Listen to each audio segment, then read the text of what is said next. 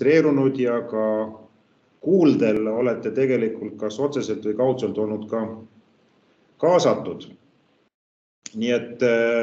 jah, et meil on hea võimalus siis nüüd projekti lõppedes teha väike kokkuvõte ja projekt iseenesest oli initsieeritud või ellu kutsutud just sellepärast, et edendada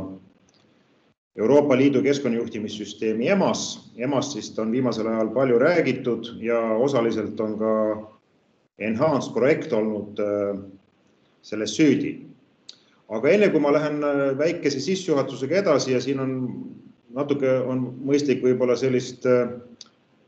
juttu veeretada, ma näen, et ikka inimesi saabub, et, et enne kui ma annan sõna meie kahe esineja kätte, kelleks on siis eh, hea kolleeg Evelin Piirsalu, kes annab väikse ülevaate Enhance projektist ja selle tulemustest. ja veel suurem rõõm on mul anda sõna siis ka Kadri Koemetsale Keskkonnaministeeriumist, kes annab meile ülevaate konkreetsemalt, et eh, millised siis EMAS rakendamist motiveerivad meetmed meil täna on juba siin rakendunud ja mis plaanid meil veel siis siin edaspidi selles valdkonnas on. ja tegelikult see tänane üritus oli meil mõeldud ka rohkem siis tegelikult sellise küsimuste-vastuste ja arutelu vormis, kuna needsamad meetmed on tekitanud siis olukorra, kus nii nagu ma enne ütlesin, EMAS rakendamine on äkki muutunud oluliseks mitmetele ettevõtetele, aga, aga need rakendamise protsess iseenesest on toonud äh, terve rea küsimusi ja, ja siin on mõistlik siis meil äh, võib-olla koos natuke arutleda, et kuidas äh, neid teemasid parem oleks käsitleda, natukene võib-olla ka rääkida probleemidest, mis on tõstatunud ja kuidas neid probleeme siis võiks ületada, ületada. meil on jah, siin olulised ametkonnad, ma vaatan juba kõik registreerunud ja näen ka, et olulised osapooled alates siis äh, keskkonnajuhtimissüsteemide sertifitseerijatest ja ma näen ka, et akrediteerimiskeskus on vist meil kaasas. nii et see oleks siis pärast äh, neid seda kahte ettekannet äh, oleks nagu selles mõttes vaba plats, et me hea meelega siis kõik küsimused-vastused, teemad, mis üleval on, võtaksime ja, ja arutleksime läbi. ja meil on plaanis siis äh, aega oleme reserveerinud kella poole üheni, aga, aga kui me saame kiiremini, siis me teeme kiiremini, nii nagu tavaliselt. pikemini, pikemalt ei tee, seda ma luban. ja võib-olla praktilise poole pealt ka veel nii palju, et, et siis nii nagu varem meil nende üritustega on olnud, et kõik, kes te kuulate, et siis lülitage välja oma mikrofonid, et siis, siis ei teki sellist kakofooniat ja kui te tahate küsimusi esitada ja need on kindlasti teretulnud, kahe ettekande lõpus on teil võimalus äh, ettekandjatele küsimusi esitada ja ka siis selles arutelu osa, osas aktiivselt osaleda. et siis neid võimalusi on erinevaid, et siin on see käe tõstmise märk, mida võib kasutada. ma loodan, et mina ja mu kolleegid siis märkame seda ka õigel ajal, siis on võimalik sellesse niinimetatud vestluskasti kirjutada jooksvalt kommentaare, küsimusi ja kui on tunda, et, et, et üks või teine asi ei sobi, siis võib ka vahele hõigata kindlasti, et, et ma hea meelega võib-olla ka ise juba annan mõnelegi teist pärast arutelu juures võib-olla lausa sõna, et te saaksite siis neid asju ka suusõnaliselt välja, välja tuua. aga jah, et natukene nüüd juba registreerunutest peaaegu mõned on veel puudu, aga ma teen siis siiski, võt-, kasutan juhust, sest täna mulle nagu muus osas vist jutusõna ei anta, et et, et natukene seda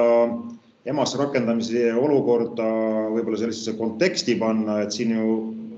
oleme me seda EMAS määruse kohast keskkonnajuhtimissüsteemi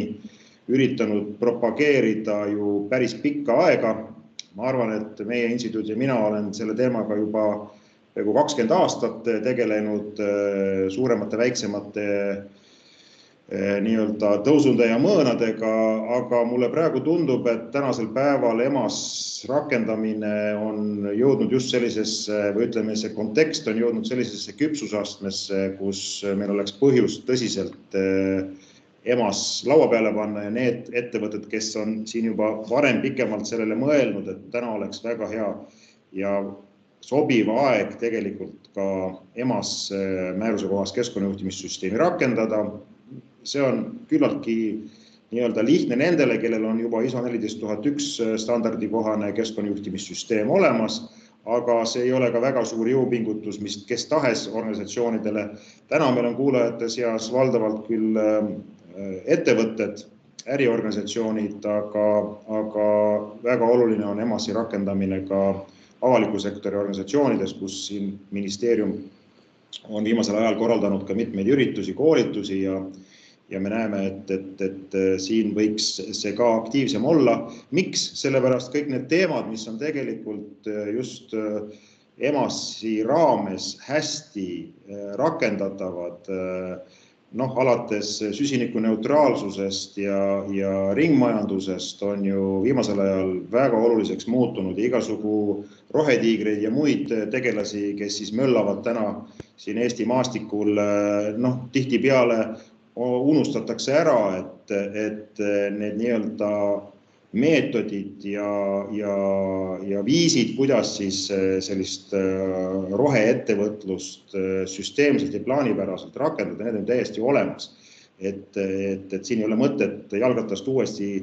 leiutada ja ma näen, et just sellises läbipaistvuse,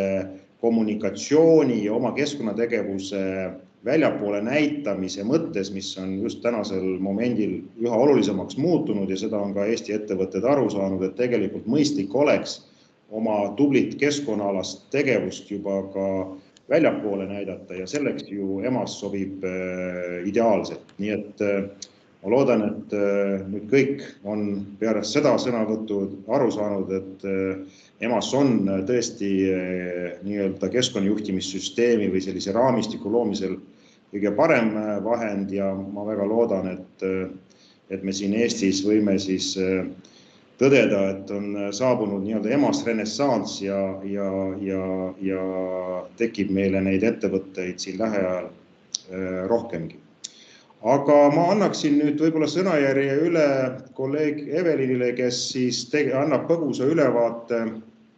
sellest samast Enhance projektist mille raames me oleme nüüd ju, ju nagu ma mainisin juba peaaegu neli aastat seda teemat siin Eestis arendanud ja mitte ainult Eestis, vaid ka Euroopa tasandil, et Evelin, ma teen kohe oma koha vabaks sinule.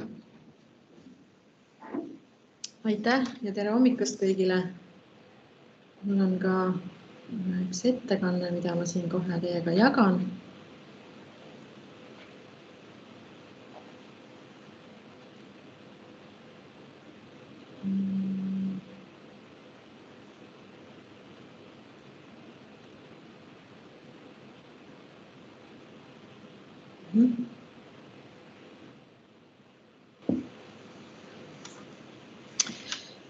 jah, et äh, Enhance siis äh, projekt, millel inglise keeles on selline väga,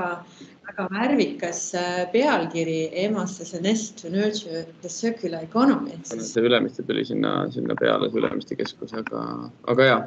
ma järgmise nädala lõpus vist kohtun nendega. aa, et keegi räägib palun pange jah oma mikrofonid äh, vaikse peale muidu meil läheb jutt. Segamini. Tundub, et nüüd jäi, tundub, et nüüd jäi vaikseks.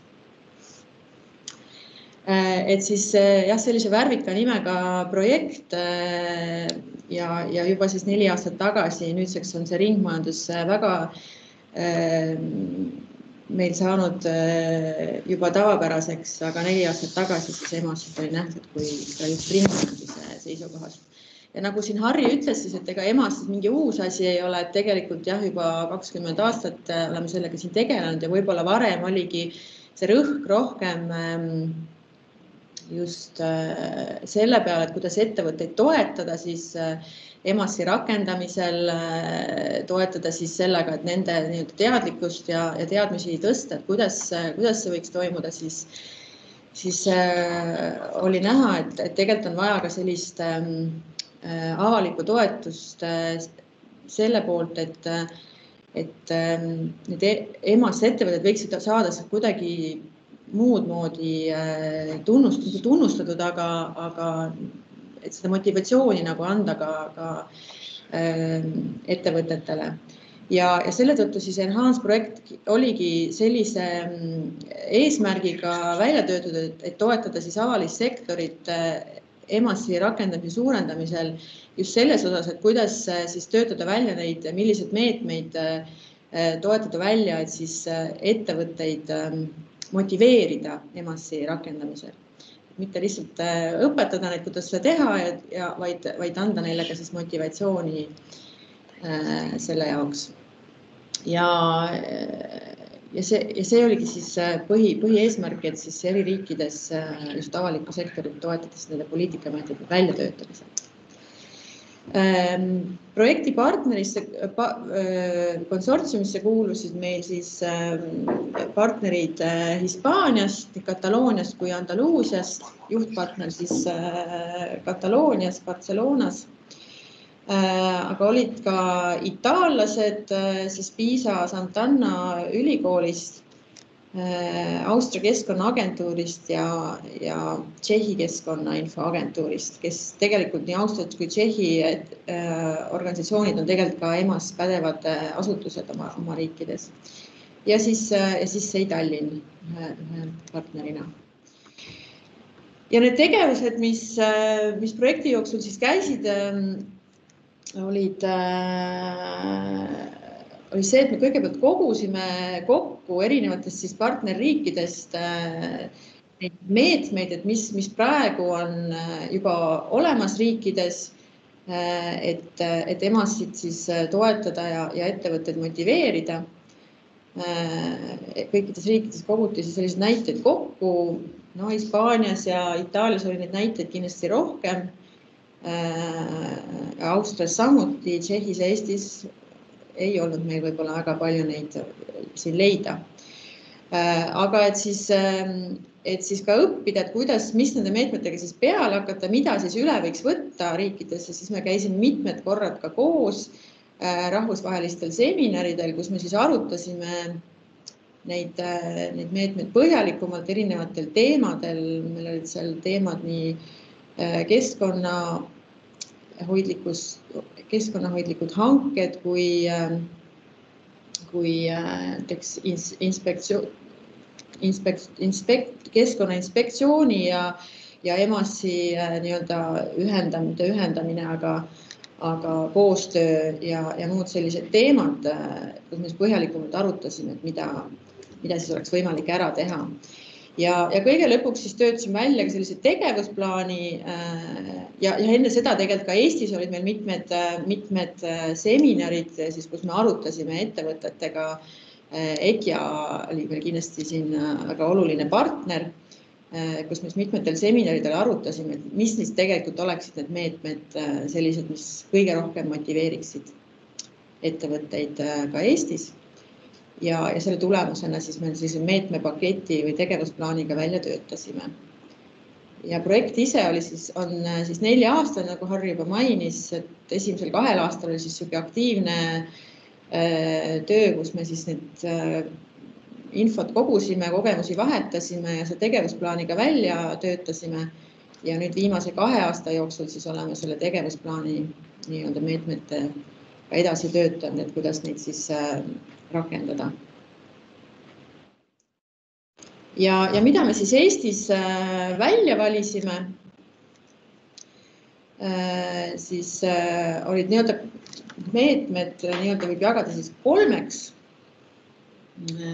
finantsmeetmed, mis annavad siis nii-öelda raha, rahalist kasu ettevõtetele, lubade ja aruandlusega seotud leevendused keskkonnalubadega siis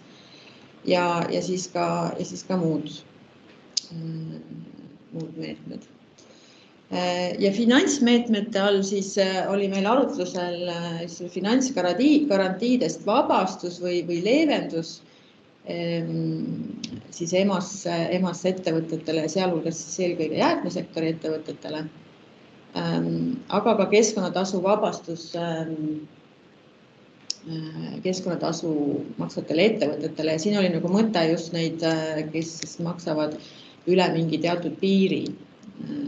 seda keskkonnatasu. no kaks tuhat eurot aastas oli siin see arut-, arutelu all. võiks see piir olla Äh, siis oli teine pakett, selline keskkonnalubade aruandlusega seotud leevendused, mis on siis just EMAS, et kuidas seda EMAS-e aruannet, kuna, kuna EMAS-il äh, ju on keskkonnaaruanne selline kohustuslik osa ja, ja tegelikult noh, sellel ei ole võib-olla noh, kuidas seda nagu paremini ära kasutada. Äh, et kuna seda juba peab tegema, et kuidas seda siis noh, ettevõttele nagu kuidagi lihtsamaks teha Ähm, selle info, info kasutamine, et siis oli mõte, et kuidas seda ema, emasse aruannet nii-öelda kuidagi automatiseerida, kuidas seda ära kasutada. Et, et kes, kas keskkonnaloa lihtsustatud taotlemisel, aruandluse kohustuse lihtsustamisel või siis ka järelevalve lihtsustamisel. Ja siin viimasel oli mõte just siis selles, et, et ähm, et EMO-s äh, audiitori ja, ja keskkonnainspektori tööd siis äh, mõnes mõttes lihtsustada, et ei oleks topelt, äh, et ei oleks topelttööd ja kuidas seda koormust siis leevendada, järelevalvega seotud koormust.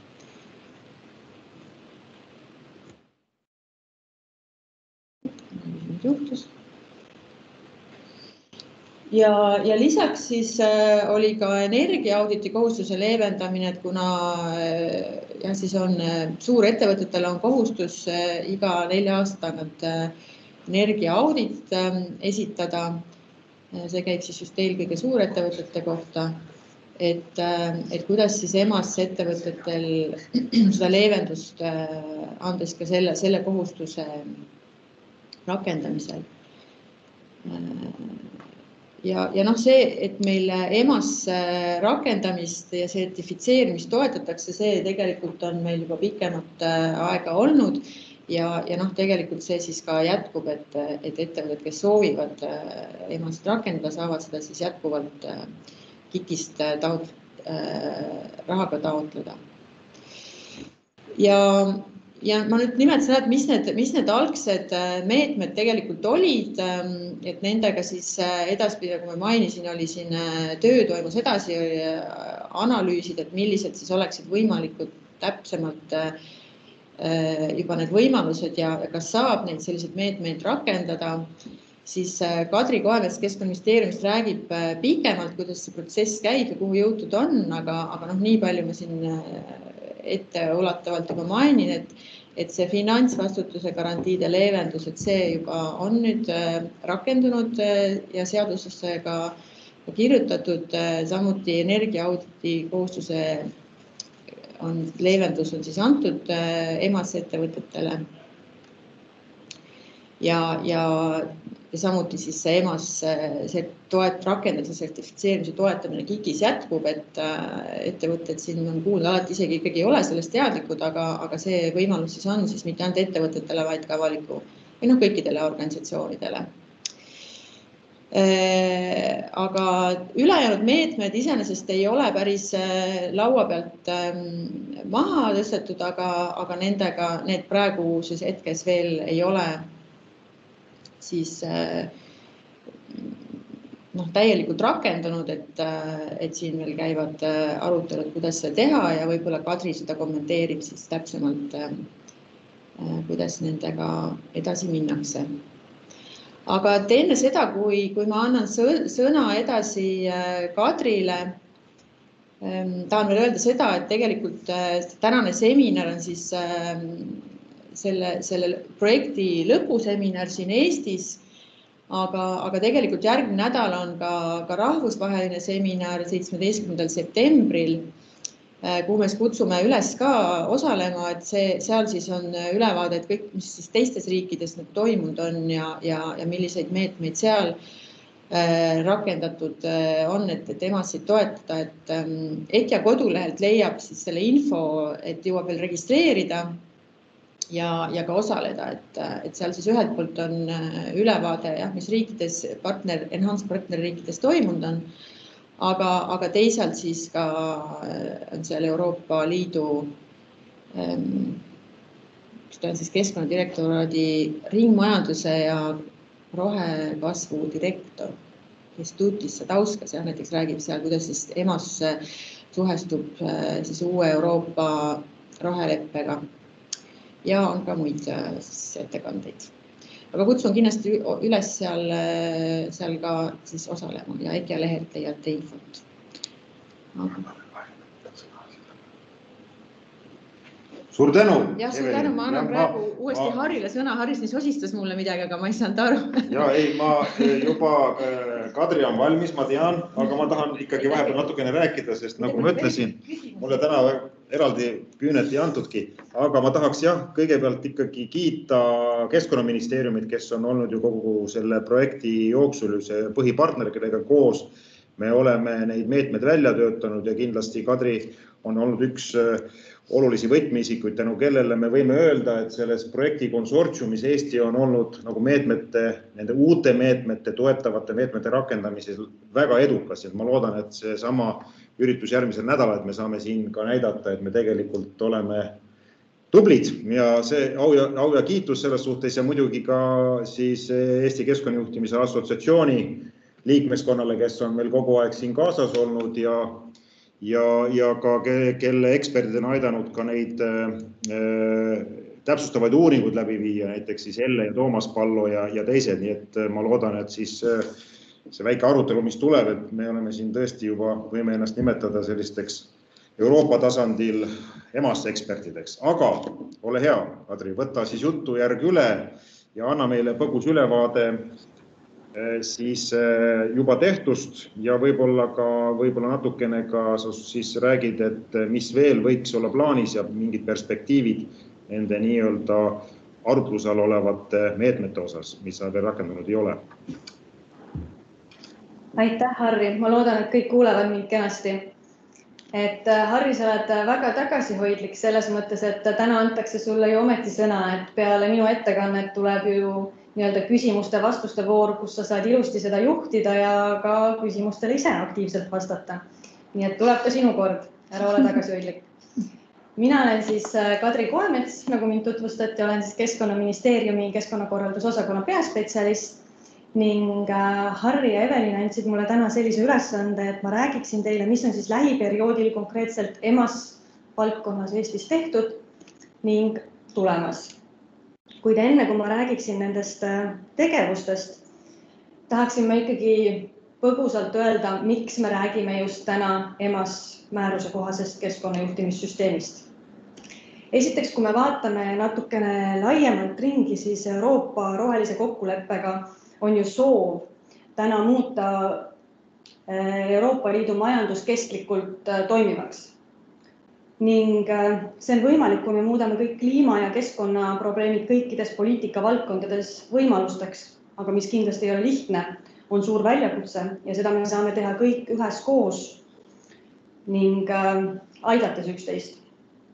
Ning EMAS on tegelikult nii-öelda vahend asutuste jaoks, kuidas nad saavad enda tegevust keskkonnahoidlikuks ja süsteemseks muuta. EMAS on võimalus neil ju ressurssi kokku hoida on võimalus riske vähendada ning olla ka hea tavaga eeskujuks kõigile teistele. ta ei ole midagi eraldiseisvat. kuna ma ei jõudnud vaadata, kes siin osalevad, siis ma natukene räägin, et ta ei ole eraldiseisev juhtimissüsteem, vaid ta on üks osa. Ning äh, see on võimalus tõsta nii-öelda konkurentsivõimet kui ka siis usaldusväärsust huvirühmade ees. meil on erinevad juhtimissüsteemid, meil on äh,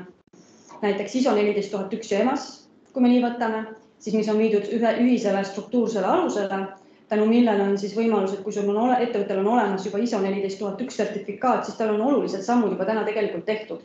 ning tal on vaja teha täiendavad sammud, et eh, olla vastav EMAS määruse kohasele keskkonnajuhtimissüsteemile. Ühe väga olulise erisusena on seal kindlasti see avalik keskkonnaaruanne, mis seda usaldusväärsust ja läbipaistvust annab, aga kindlasti ei saa ka mainimata jätta siis eh, pühendumist ehk keskkonnatoime paremaks muutmist, kindlasti ka õigusaktide vastavuse kontroll on väga oluline EMAS määruse kohaselt, ka töötajate kaasatus. et neid aspekte, mis lisaks äh, nii-öelda ISO-le EMAS-ega juurde tulevad, on veel, kuid ma täna sellele ei peatu, sest et äh, EMAS on koordineeritud riiklikul tasandil, see on ka põhjus, miks Keskkonnaministeeriumi EMAS määruse kohasest keskkonnajuhtimissüsteemist räägib. meil on määratud ka pädev asutus, kelleks on Keskkonnaagentuur, kelle poole saab pöörduda erinevate küsimustega, sealhulgas ka registreerimistaotlusega. ning Eestis ei ole eraldi nii-öelda riigilõivu EMAS registreerimiseks. aga siit ma tegelikult nüüd liiguksin edasi nendele tegevustele ma ei teinud endale eraldi slaidi, kus rääkida, mis äh, Harri ja Evelin on siin kokku pannud Enhance'i raames, vaid pigem ma tõin siia need tegevused, mis me oleme nüüd teinud siin lähiaastatel. et äh, Enhance'i raames, nagu Evelin rääkis, siis kaardistati ära kõigepealt äh, teiste liikmesriikide praktikad, parimad praktikad, vahetati kogemusi ning tehti siis ettepanek meetmeteks erinevaid meetmeid on olnud siin aastatega meil ju laual tegelikult veel, kuid kõik sõltub sellest, et eh, mida on täna võimalik rakendada ning sõltub ka sellest, eh, kuidas on siis valmisolek neid vastu võtta. kaks tuhat kaheksateist aasta lõpus siis alustasime me koos nii-öelda Majandus- ja Kommunikatsiooniministeeriumiga ja siis Tarbijakaitse ja Tehnilise Järelevalve Ametiga Eh, nii-öelda juhendmaterjali koostamist energiamajanduse korralduse seadusele ning kaks tuhat üheksateist veebruaris me tutvustasime seda ka juba kõikidele huvigruppidele, kus me tegime siis energiaauditi vabastuse EMAS registreeritud organisatsioonidele. Eh, sealt liikusime me edasi, nagu Harri ja Evelin tegelikult ka siin näitasid, siis eh, olid ettepanekud Enhance'i raames konkreetselt keskkonnaluba omavatele ettevõtetele kuna liikmesriikides on praktikad ja kogemused erinevad, siis me leidsime, et tegelikult see on valdkond, mida tuleks põhjalikumalt analüüsida. kaks tuhat üheksateist LOÜ tegi siis meile uuringu, kus ta analüüsis keskkonnaloa taotlemise lihtsustamist, aruandluse lihtsustamist ning keskkonnajärelevalve sageduse vähendamist EMA-st registreeritud ettevõtetele ning nagu eelpool ka nimetatud, siis oli jäätmeseaduse muudatus, mis täna tegelikult on juba jõustunud ning äh, on garantii ja finantstagatise vabastus EMAS registreeritud ettevõtetele. sealt edasi liikudes, selle aasta alguses me koostasime küsimustiku. nimelt, kui avalik sektor äh, ootab teistelt keskkonnahoidlikku tegutsemist, siis võiks olla või peakski olema ise eeskujuks teistele aga kuna meil puudus terviklik ülevaade, siis me alustasime küsimustikuga, mille me suunasime siis kõikidele ministeeriumitele ning nende vastutusalas olevatele asutustele, et kaardistada ära, kus me täna oleme, mis on meie seis. ning sellest tulenevalt on toimunud siis kaks koolitust. algselt oli planeeritud üks koolitus, kuid seoses siin eriolukorraga me jagasime selle kahte ossa ja paari sõnaga ma siis räägin kõikidest nendest tegevustest äh, veel täpsemalt, aga ütleme, et siis kaks tuhat üheksateist, kaks tuhat kakskümmend, noh, tänapäev on olnud need sellised suuremad peamised tegevused, mis me oleme teinud. nagu sai esimesena mainitud, äh, siis kohe esimesena oli siis energiamajanduse korralduse seaduse muudatusega seoses suurettevõtetel äh, nii-öelda energiaauditi vabastus ehk suurettevõtetel on iga nelja aasta tagant kohustus teha energiaauditeid. ning e-, suurettevõtete nimekiri on kättesaadav ka MKM-i kodulehel. energiaauditist on siis tegelikult täna vabastus äh, nendel ettevõtetel, kellel on energiajuhtimissüsteem ISO viiskümmend tuhat üks või siis keskkonnajuhtimissüsteem ISO neliteist tuhat üks või EMAS. selleks, et nad täna saaksid selle vabastuse peavad nad omama kehtivat sertifikaati või siis EMAS-i puhul registreerimistunnistust. ning samuti peab nende juhtimissüsteem ära katma äh, majandus- ja taristuministri määruse number seitsekümmend kuus energiaauditi miinimumnõuded. selle kohta oleme Tarbijakaitse ja Tehnilise Järelevalve Ametiga koostöös välja töötanud ka juhendmaterjali, mis on siis MKM-i koduleheküljel kättesaadav, ma panin siia selle ka lingi. kuid alati saab pöörduda minu poole ma saan saata neid materjale siis järgmisena siis uuring, mis oli siis Euroopa Liidu keskkonnajuhtimissüsteemi EMAS rakendamist soodustavate ja toetavate meetmete analüüs. selle viis läbi meil LOÜ, seal hinnati siis loa menetluse ja järelevalvega seotud dokumentatsiooni ühilduvust EMAS määruse, sealhulgas ka EMAS keskkonnaaruande nõuetega samuti selgitati välja, mis on siis äh, nende meetmete atraktiivsus huvirühmadele. korraldati siis küsitlusi, intervjuud, konsultatsioonid ning erinevad ümarlauad. uuringut alustati kaks tuhat üheksateist ning äh, uuring lõppes kaks tuhat kakskümmend kevadel.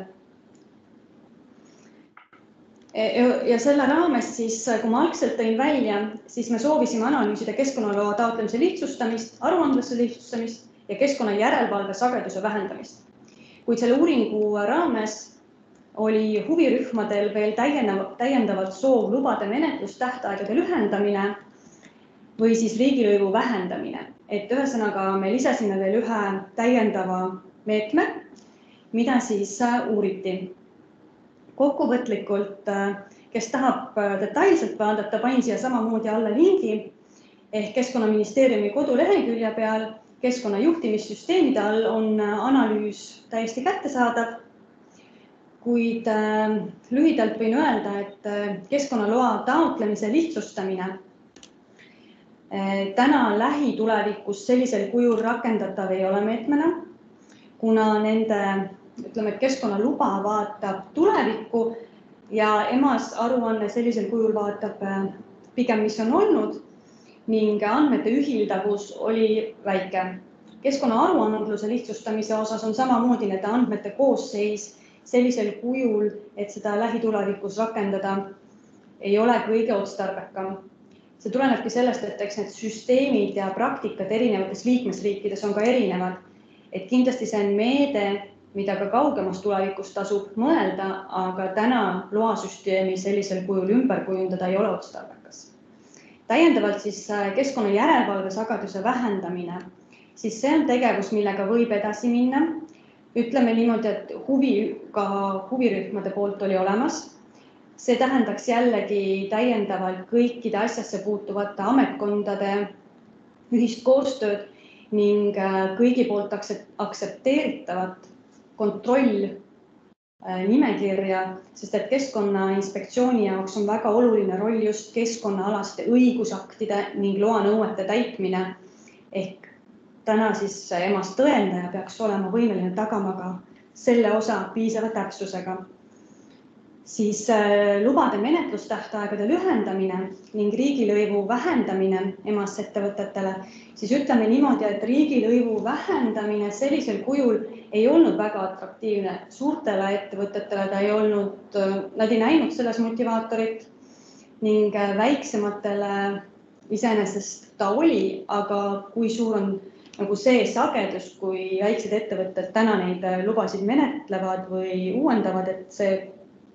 sellisel kujul ei olnud kõige atraktiivsem. aga samas menetlustähtaegade lühendamine, see kindlasti oli, aga samas me peame arvestama ka seda, et Keskkonnaametil täna ei ole sellist ressurssi, kui me räägime ka riigilõivu, riigilõivu vähendamisest või siis kiirendatud menetlusest, siis see tähendab ka nende jaoks seda, et neil on vaja jällegi lisaressurssi selleks, et nad saaksid neid kiiremini menetleda. samas on see ka üks tegevus, millega saab koos vastavate ametkondadega edasi liikuda, sest Keskkonnaametil on ka enda mõtted, kuidas saaks menetlustähtaegu nii-öelda või noh, ütleme menetlusi kiiremalt läbi viia, kuid kus on see seos siis selle EMAS-iga, et see on see koht, mida saab edasi analüüsida ja vaadata koos ametkondadega. Et Elle on teinud ära suure töö ning sellega siis võite täpsemalt tutvuda. Ja võib-olla, kui ma ei tea, kas Toomas siin osaleb, siis Toomas võib ka ise julgelt pärast äh, kommenteerida ja rääkida kaasa. Siis äh, edasi ka Enhance'ist välja tulnud äh, ettepanek, mis tegelikult on juba meil tehtud, nii-öelda on siis keskkonnakaitseluba jäätmete ladustamiseks omavatel ettevõtetel ei ole täna vaja finantsgarantiid ega finantstagatist, kui neil on EMAS määruse kohane keskkonnajuhtimissüsteem. ning see on olnud ka üks motivaator, tänu millele on ka EMAS määruse kohase keskkonnajuhtimissüsteemi osas huvi tõusnud siis äh, nagu ma mainisin, siis me soovime, et avalik sektor oleks keskkonnahoidlikum ning selleks me alustasime siis küsitlusega. küsitluse me koostasime ja ehitasime siis üles vastavalt siis keskkonnajuhtimissüsteemi olemusele. Ehk me tegime detailse küsimustiku, mis käsitles nii jäätmekäitlust, veeteemat, keskkonnahoidlikke riigihankeid, ressursikasutust. Ehk me saime nagu eristada neid, kes täna ütlevad, et nad ei tegele keskkonna, süsteemse keskkonnajuhtimissüsteemiga ning miks? Me saime need, kes vastasid, et jah, neil on juba sertifitseeritud või registreeritud süsteem. Ja saime eristada neid, kes ütlesid, et nad tegelevad süsteemselt ja nad panid kirja, mida nad täna süsteemselt teevad ja kuidas. Küsitlus saadeti kõikidele ministeeriumitele ning nende vastutusalas olevatele asutustele. Ning äh, see ring oli väga lai, sellepärast et kui me vaatame juba Haridus- ja Teadusministeeriumi vastutusalasse, siis sealt tulevad haridusasutused, pluss siis Kultuuriministeeriumilt äh, saime ka palju vastuseid erinevatelt muuseumitelt. küsitlustulemusi kokku saime me üheksakümmend neli, kes vastas. Nendest ministeeriumeid oli üheksa siin slaidi peal on mul kirjas kümme, sest et ma arvestasin siia täna ka Keskkonnaministeeriumi, et oleks jaotus näha. vastas üheksa ministeeriumit, täna on olemas siis roheline kontor ühisministeeriumite hoonel ning Keskkonnaministeeriumil EMAS. Kaks ministeeriumit tegeleb süsteemselt, kuid ei ole sertifitseeritud ning kolm täna vastasid, et nad süsteemselt keskkonnajuhtimisega ei tegele. ministeeriumite vastutusalast võime öelda, et viiskümmend neli asutust süsteemselt ei tegele. kolmkümmend üks tegeles süsteemselt, kellest kaks oli nii-öelda registreeritud ja sertifitseeritud. ehk sinna alla läks siis äh, Keskkonnaamet, kellel oli EMAS ning äh, Riigimetsa Majandamise Keskus, kellel on siis ISO neliteist tuhat üks. peamine põhjus, miks äh, täna ei rakendata, kui me räägime vastutusalas olevatest asutustest ongi see, et äh, nad ootavad, et ministeeriumid annaksid neile need eesmärgid ja suunised, kuidas toimetada. samuti ressursipuudus ning äh, juhtkonna tugi. aga juhtkonna tugi sõltubki palju sellest, mis on ministeeriumi suunised. ning äh, mida nagu oodati, meil oli ka küsimus, et mis on nagu ootused Keskkonnaministeeriumile, et kuidas saaksime meie olla abiks et keskkonna juhtimist paremini rakendada, siis oligi see, et taheti juhend, mingi juhendmaterjali ilma täpsustuseta küll milliseid ning äh, sooviti ka sellist nõustamist või abistamist.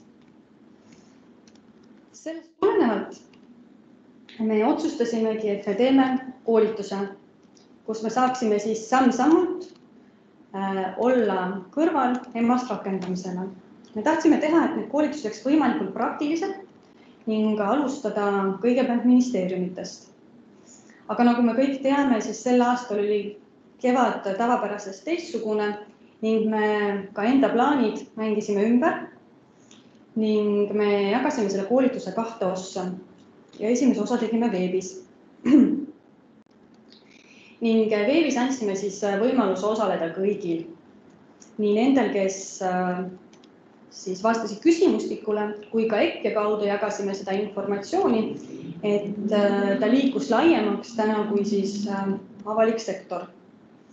ning äh, kokku osales siis veebi kaudu meil ligi nelikümmend viis asutust. Peale esimest koolitust me tahtsime saada konkreetset tagasisidet, kes on võima-, kes on nagu soo-, kes soovivad minna samm-sammult edasi selle koolitusega, et nad annaksid mulle selle tagasiside ning äh, me andsime neile ka sellise koduse töö ehk kaardistada ära enda hetkeolukord, teha esmane keskkonnaülevaade. ning äh, see nädal toimus siis meil äh, selle koolituse teine osa, kus algselt oli siis eesmärk, et võetakse kaasa see keskkonnaülevaade ja me saame selle koos läbi arutada. aga kuna meil koolitus toimus mai lõpus, tulid suvepuhkuse perioodid ja täna on september siis äh, koolitusel osalejad olid seda keskkonnaülesannet, ülevaadet teinud, nad olid oma ülesannet äh, vaadanud, aga nad ei olnud seda kõike lahendatult kaasa võtnud. ning äh, me otsustasime, et me vaatame selle ikkagi ka üheskoos ümber nii-öelda ühes ruumis olles siis läbi ning me vaatasimegi õigusaktide nõuete vastavuse kaardistamist, kus ja kuidas nad saaksid alustada, vaatasime vastutuste jaotust, mis on väga oluline ning aspektide hindamist. ning tegelikult ka järgmine samm siin ongi äh, see, et ma kaardistan nüüd ära, mis on see ajaraam, millal nad suudavad selle keskkonna ülevaate ära teha, sest me tahaksime, et me oleksime kõik ühel tasandil ja me liiguksime ühiselt samm-sammult edasi, siis täidab see koolitustsükkel oma eesmärki sellisena, nagu me oleme planeerinud. ning siis me jõudsimegi tegelikult tänapäeva selles mõttes, et äh, see koolitus toimus see nädal, paar päeva tagasi. ning nagu tegelikult ka Evelin mainis, siis meil on olnud üks meede mis ei ole lähiaja meede, mis ulatub juba nii-öelda kaugemale tule, kaugemale minevikku, aga ta on meil kogu aeg olemas olnud, kuid ta vajab meeldetuletamist. ongi see, et kõigil, kes soovivad tegelikult EMAS-i rakendada, on alati võimalus Keskkonnainvesteeringute Keskuse ringmajanduse programmist taotleda toetust. niisiis keskkonnajuhtimissüsteemi rakendamiseks, sealhulgas ka keskkonnajuhtimissüsteemist tuleneva keskkonnategevuse edasiseks parendamiseks. et see võimalus on olemas, ma panin siia samamoodi selle lingi ringmajanduse programmile. et äh, kellel on huvi, vaadake täpsemalt, et see võimalus on teil täna alati olemas. ning edasised tegevused, et selle kohta ma ei teagi, on keeruline täna natukene öelda, sest me keegi ju ei tea, mida toob sügis, äh, kuidas see olukord siin edasi läheb kuid plaanid meil kindlasti on, kuidas me seda saame rakendada, see on täna küsimus ja see sõltub väga palju ka, kuidas eelarvelised ja ressursivahendid meil saavad olema. kuid täna on äh, nii-öelda Riigikogus ootab teist lugemist jäätmeseaduse ja pakendiseaduse muudatus, kus on siis äh, toodud äh, tootja ja tootjate ühenduste enesekontrollisüsteemi vabastus ene, EMAS määruse kohaselt registreeritud ettevõtetele. samamoodi need ettepanekud, mis Evelin tõi äh, Enhance'i raames, pluss siis äh, need ettepanekud, mis tulenevad ja täna on rakendatavad ELLE uuringust, mis puudutas siis EMAS leevendavaid meetmeid keskkonnaluba omavatele ettevõtetele. Need ei ole meie laualt kuhugile kadunud, need ei lähe kuhugile lauasahtlisse peitu, vaid pigem on see, et me hindame ja vaatame, mis on nagu järgmised prioriteetsed, millega me saame edasi minna, mille vastu on huvi. kuna neid meetmeid on erinevaid, siis äh, täna ma ei ütle, millised on need esmased, millega me edasi lähme, aga me liigume edasi nendega. ning siis tooksin veel välja ka selle, et äh, keskkonnajuhtimissüsteemi koolituste jätkamine. et äh, kõigil, kellel on huvi tegelikult veel liituda siis äh, võite mulle kirjutada kadri.koemets.envir.ee. ütleme niimoodi, et äh, kirjutage mulle siis nädala aja jooksul, see teeb siis kaheksateistkümnendaks septembriks. et siis on samamoodi, ma saan teid viia sellele samale tasandile, ma saan teile anda kodutöö ning te saate meie nii-öelda selle meeskonnaga täna liituda. ning äh, ma ei teagi, mis ma, nii ning siis äh, kokkuvõtteks ma ütleksin nii palju, et äh, meil selleks, et muuta äh, majandust jätkusuutlikumaks ning keskkonnahoidlikumaks, on vajalik kõigi osu, osapoolte tõhus koostöö ning teineteist toetav suhtumine. nii leiame me vaid parimaid lahendusi keskkonnaprobleemidele, et ma ei tea, Harri, aitäh kõigile minu poolt, ma võin nüüd sulle sõna anda, sa kindlasti ootad väga ja ma, ma ei tea, kas ma nüüd ootan, aga ma tegelikult äh, tänan sind äh, väga hea ja põhjaliku ülevaate eest, aga ega me sind siiski ei lase veel nii-öelda näppude vahelt ära, sest ma näen, et juba terve rida või vähemasti kaks küsimust on tulnud ja nüüd peakski järgnema arutelu ja ma, mul on hea meel tõdeda, et, et, et äh, siin on tegelikult meil täna registreerinud terve rida neid osapooli, kes on siis äh, kellel, ma arvan, on juba konkreetseid küsimusi äh, ja kommentaare, mis puutub siis äh, EMAS rakendamist üldisemalt, seda protsessi ja eelkõige, mis puudutab äh, nüüd siis EMAS tõendamise või auditeerimise protsessi ja sellega seotud teemasid, et siin on kindlasti tahaks kuulata nii sertifitseerijate kui ka akrediteerimiskeskuse võib-olla väljaütlemisi ja ka ettevõtted, sest ma tean, et terve rida ettevõtteid, eelkõige jäätmekäitlusettevõtteid, aga ka teisi, on praegu usinalt kogu suve rakendunud EMAS määruskohas keskkonnajuhtimissüsteemi ja siin on ka tõstatunud terve rida juba küsimusi, nii et et võtame kohe algusest peale, ma näen, et siin chatbox'is on meil juba küsimused olemas. Andro, äkki sa tahad ise valju häälega selle küsimuse esitada, et siis me hakkame kohe järgimööda siit niiviisi minema. jah, hea küll, mina olen Andro, et ja on mind kuulda mm,? väga hea, et äh, mul on tekkinud enda jaoks lihtsalt küsimus, et mis on see jäätmeseaduses garantii finantstagatise nõude eesmärk, et, et ma ei saa aru, kuidas see EMAS olemasolu tagab selle eesmärgi täitmise, et siin äh, ma täna olen nagu aru saanud, et äh, iseenesest äh, noh, iseenesest hea, et toetatakse seda EMAS rakendamist, aga kas see EMAS äh, antud juhul äh, täidab siis sellesama eesmärki, et nii palju, kui mina olen kuulnud nendest jäätmekäitlejatelt, et see finantstagatise garantiinõue, et see on päris kallis, kulukas, tunduvalt kulukam kui EMAS ja jah, tõepoolest nad täna nüüd siis lähevad seda EMAS-i teed selle asemel aga jah, et, et võib-olla siis selgitada, et kuidas siis nagu EMAS tagab selle, mis on selle tegelikult selle finantstagatise või garantiinõude eesmärk. see oli minu küsimus, aitäh. Kadri, kas või keegi teine ministeeriumi poolt tahaks äh, esma vastata, mul muidugi endal hirmsasti kohe näpud sügelevad vastamiseks, aga nagu ma ütlesin, ma täna tagasi hoidma ennast. Harri, aga ma saingi aru, et see ongi sinu voor, kus sa saad oma sügelevaid näppe nii-öelda siin vabalt kasutada aga ei, ma ütlengi, et enda poolt ma ütlen seda, et äh, miks me just selle vabastuse tegime EMAS-ile, ongi see, et EMAS-il on väga oluline osa just konkreetselt äh, ta peab tõendama vastavust keskkonnaalastele õigusaktidele, nagu ma tegelikult ka enda ettekandes välja tõin. seal on ka keskkonna toimepidev paremaks muutmine ehk parendamine ning seal on ka eri, väga suur roll sidususrühmade omavahelisel koostööl, avatud dialoogil, töötajate kaasamisel ning seal on avalik keskkonnaaruanne, mille osas on, mis on tõendatud erapooletu nii-öelda asutuse poolt, pluss siis seda väljastab välja Eestis riigis Keskkonnaagentuur. Ehk ta on usaldusväärne.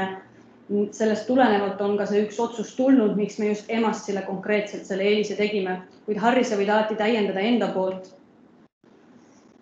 ja et äh, ma natuke siis äh, lisan ka oma poolt, sellepärast et tegelikult ühel, kui me vaatame sellist tüüpilist meedet, et üldse seda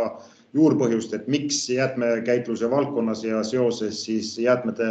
ladustamisega selline garantii teema on üles tõstnud ja see on ju tegelikult teada. Eh, noh, on kuritarvitatud siis sellist tänast olukorda, kus mitmed jäätmete käitlusega tegelevad ettevõtted on äh, on lihtsalt siis tekitanud olukorra, kus siis kogutakse jäätmed kokku ja jäetakse need nii-öelda ripakile, eks ju, ja see on see selline finantsgarantii teema on praegu Euroopas küllaltki lai, jäätmekäitlusvaldkonnas eraldi, eriti. Noh, see näide, mis puudutab näiteks äh, Itaaliat, Itaalias me teame, et see jäätmekäitluse teema on olnud ka probleem, väga problemaatiline ja ka samasugune meede on tegelikult rakendunud mitmetes teistes riikides ja see on üldiselt hästi toiminud ühelt poolt, et eh, nii-öelda korrale kutsuda või tekitada motivatsioon eh, ettevõtteid mitte siis sellisel kujul käituma. aga teiselt poolt nüüd, kui me tuleme EMAS-i juurde, siis, siis jah, see on üks tugevamaid ja mõjusamaid meetmeid olnud, mis on jäätmekäitlusvaldkonnas ja ütleme laiemalt sellises ringmajanduse valdkonnas tegelikult pannud ettevõtteid EMAS-id rakendama nii teistes riikides jällegi kui ka me näeme, et see mõju on väga tugev olnud ka Eestis, mis on ju positiivne. Ja nüüd ma põrgataksin selle, selle, et mis kasu see saab või kuidas see EMAS aitab, põrgataksin selle nüüd tagasi natukene sertifitseerijate audiitorite põllule. Ja, ja, ja see on nüüd oluline, et EMAS-i puhul ja nii nagu Kadri ka rääkis, eks ju, et EMAS-i puhul peaks olema selline õigusliku konteksti auditeerimine, kontroll, järelevalve sellise audiitorkontrolli kaudu äh, tõhus ja läbipaistev. ja nüüd, nüüd ongi küsimus ja minu jaoks on see ka väga oluline, ma kujutan ette ka ministeeriumi poole pealt, et, et, et nüüd on nagu see pall mõnevõrra tagasi löödud sertifitseerijate kätte, kes peaksid tagama nüüd tõesti sellise korrektse kontrolli, et EMAS-it ei tohiks kindlasti saada need ettevõtted ja ütleme väga lihtsasti ja need ettevõtted, kes siis selliste nõuetele mittevastavus, ütleme otseselt seaduse rikkumist, millel on väga oluline keskkonnamõju ja ka avalik nii-öelda tagasipeegeldus, et sellised ettevõtted ei tohiks kindlasti emasid saada.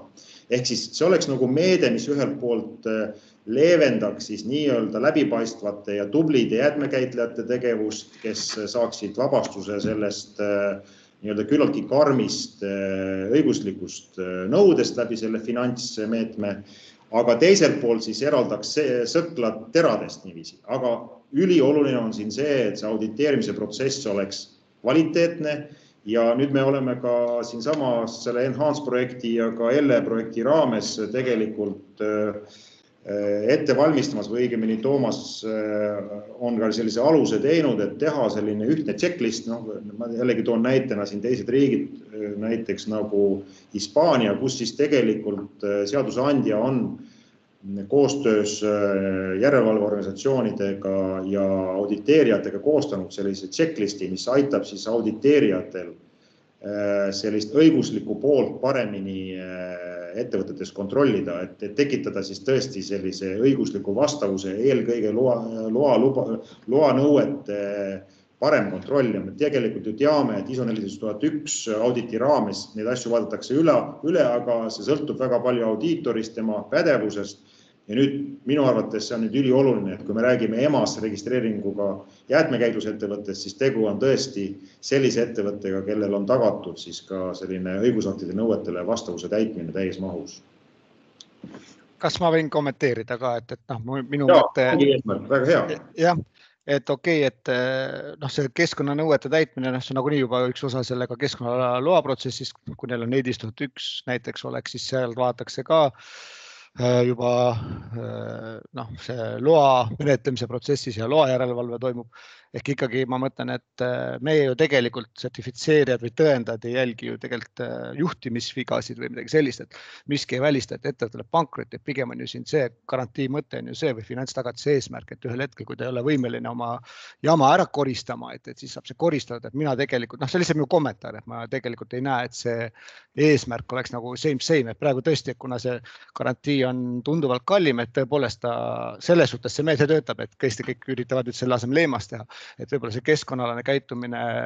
või ütleme, selline toimimine läheb tõepoolest nendes ettevõtetes paremaks, et selles suhtes ta oma eesmärki täidab, aga teiselt poolt nüüd seda, et ta ettevõte võib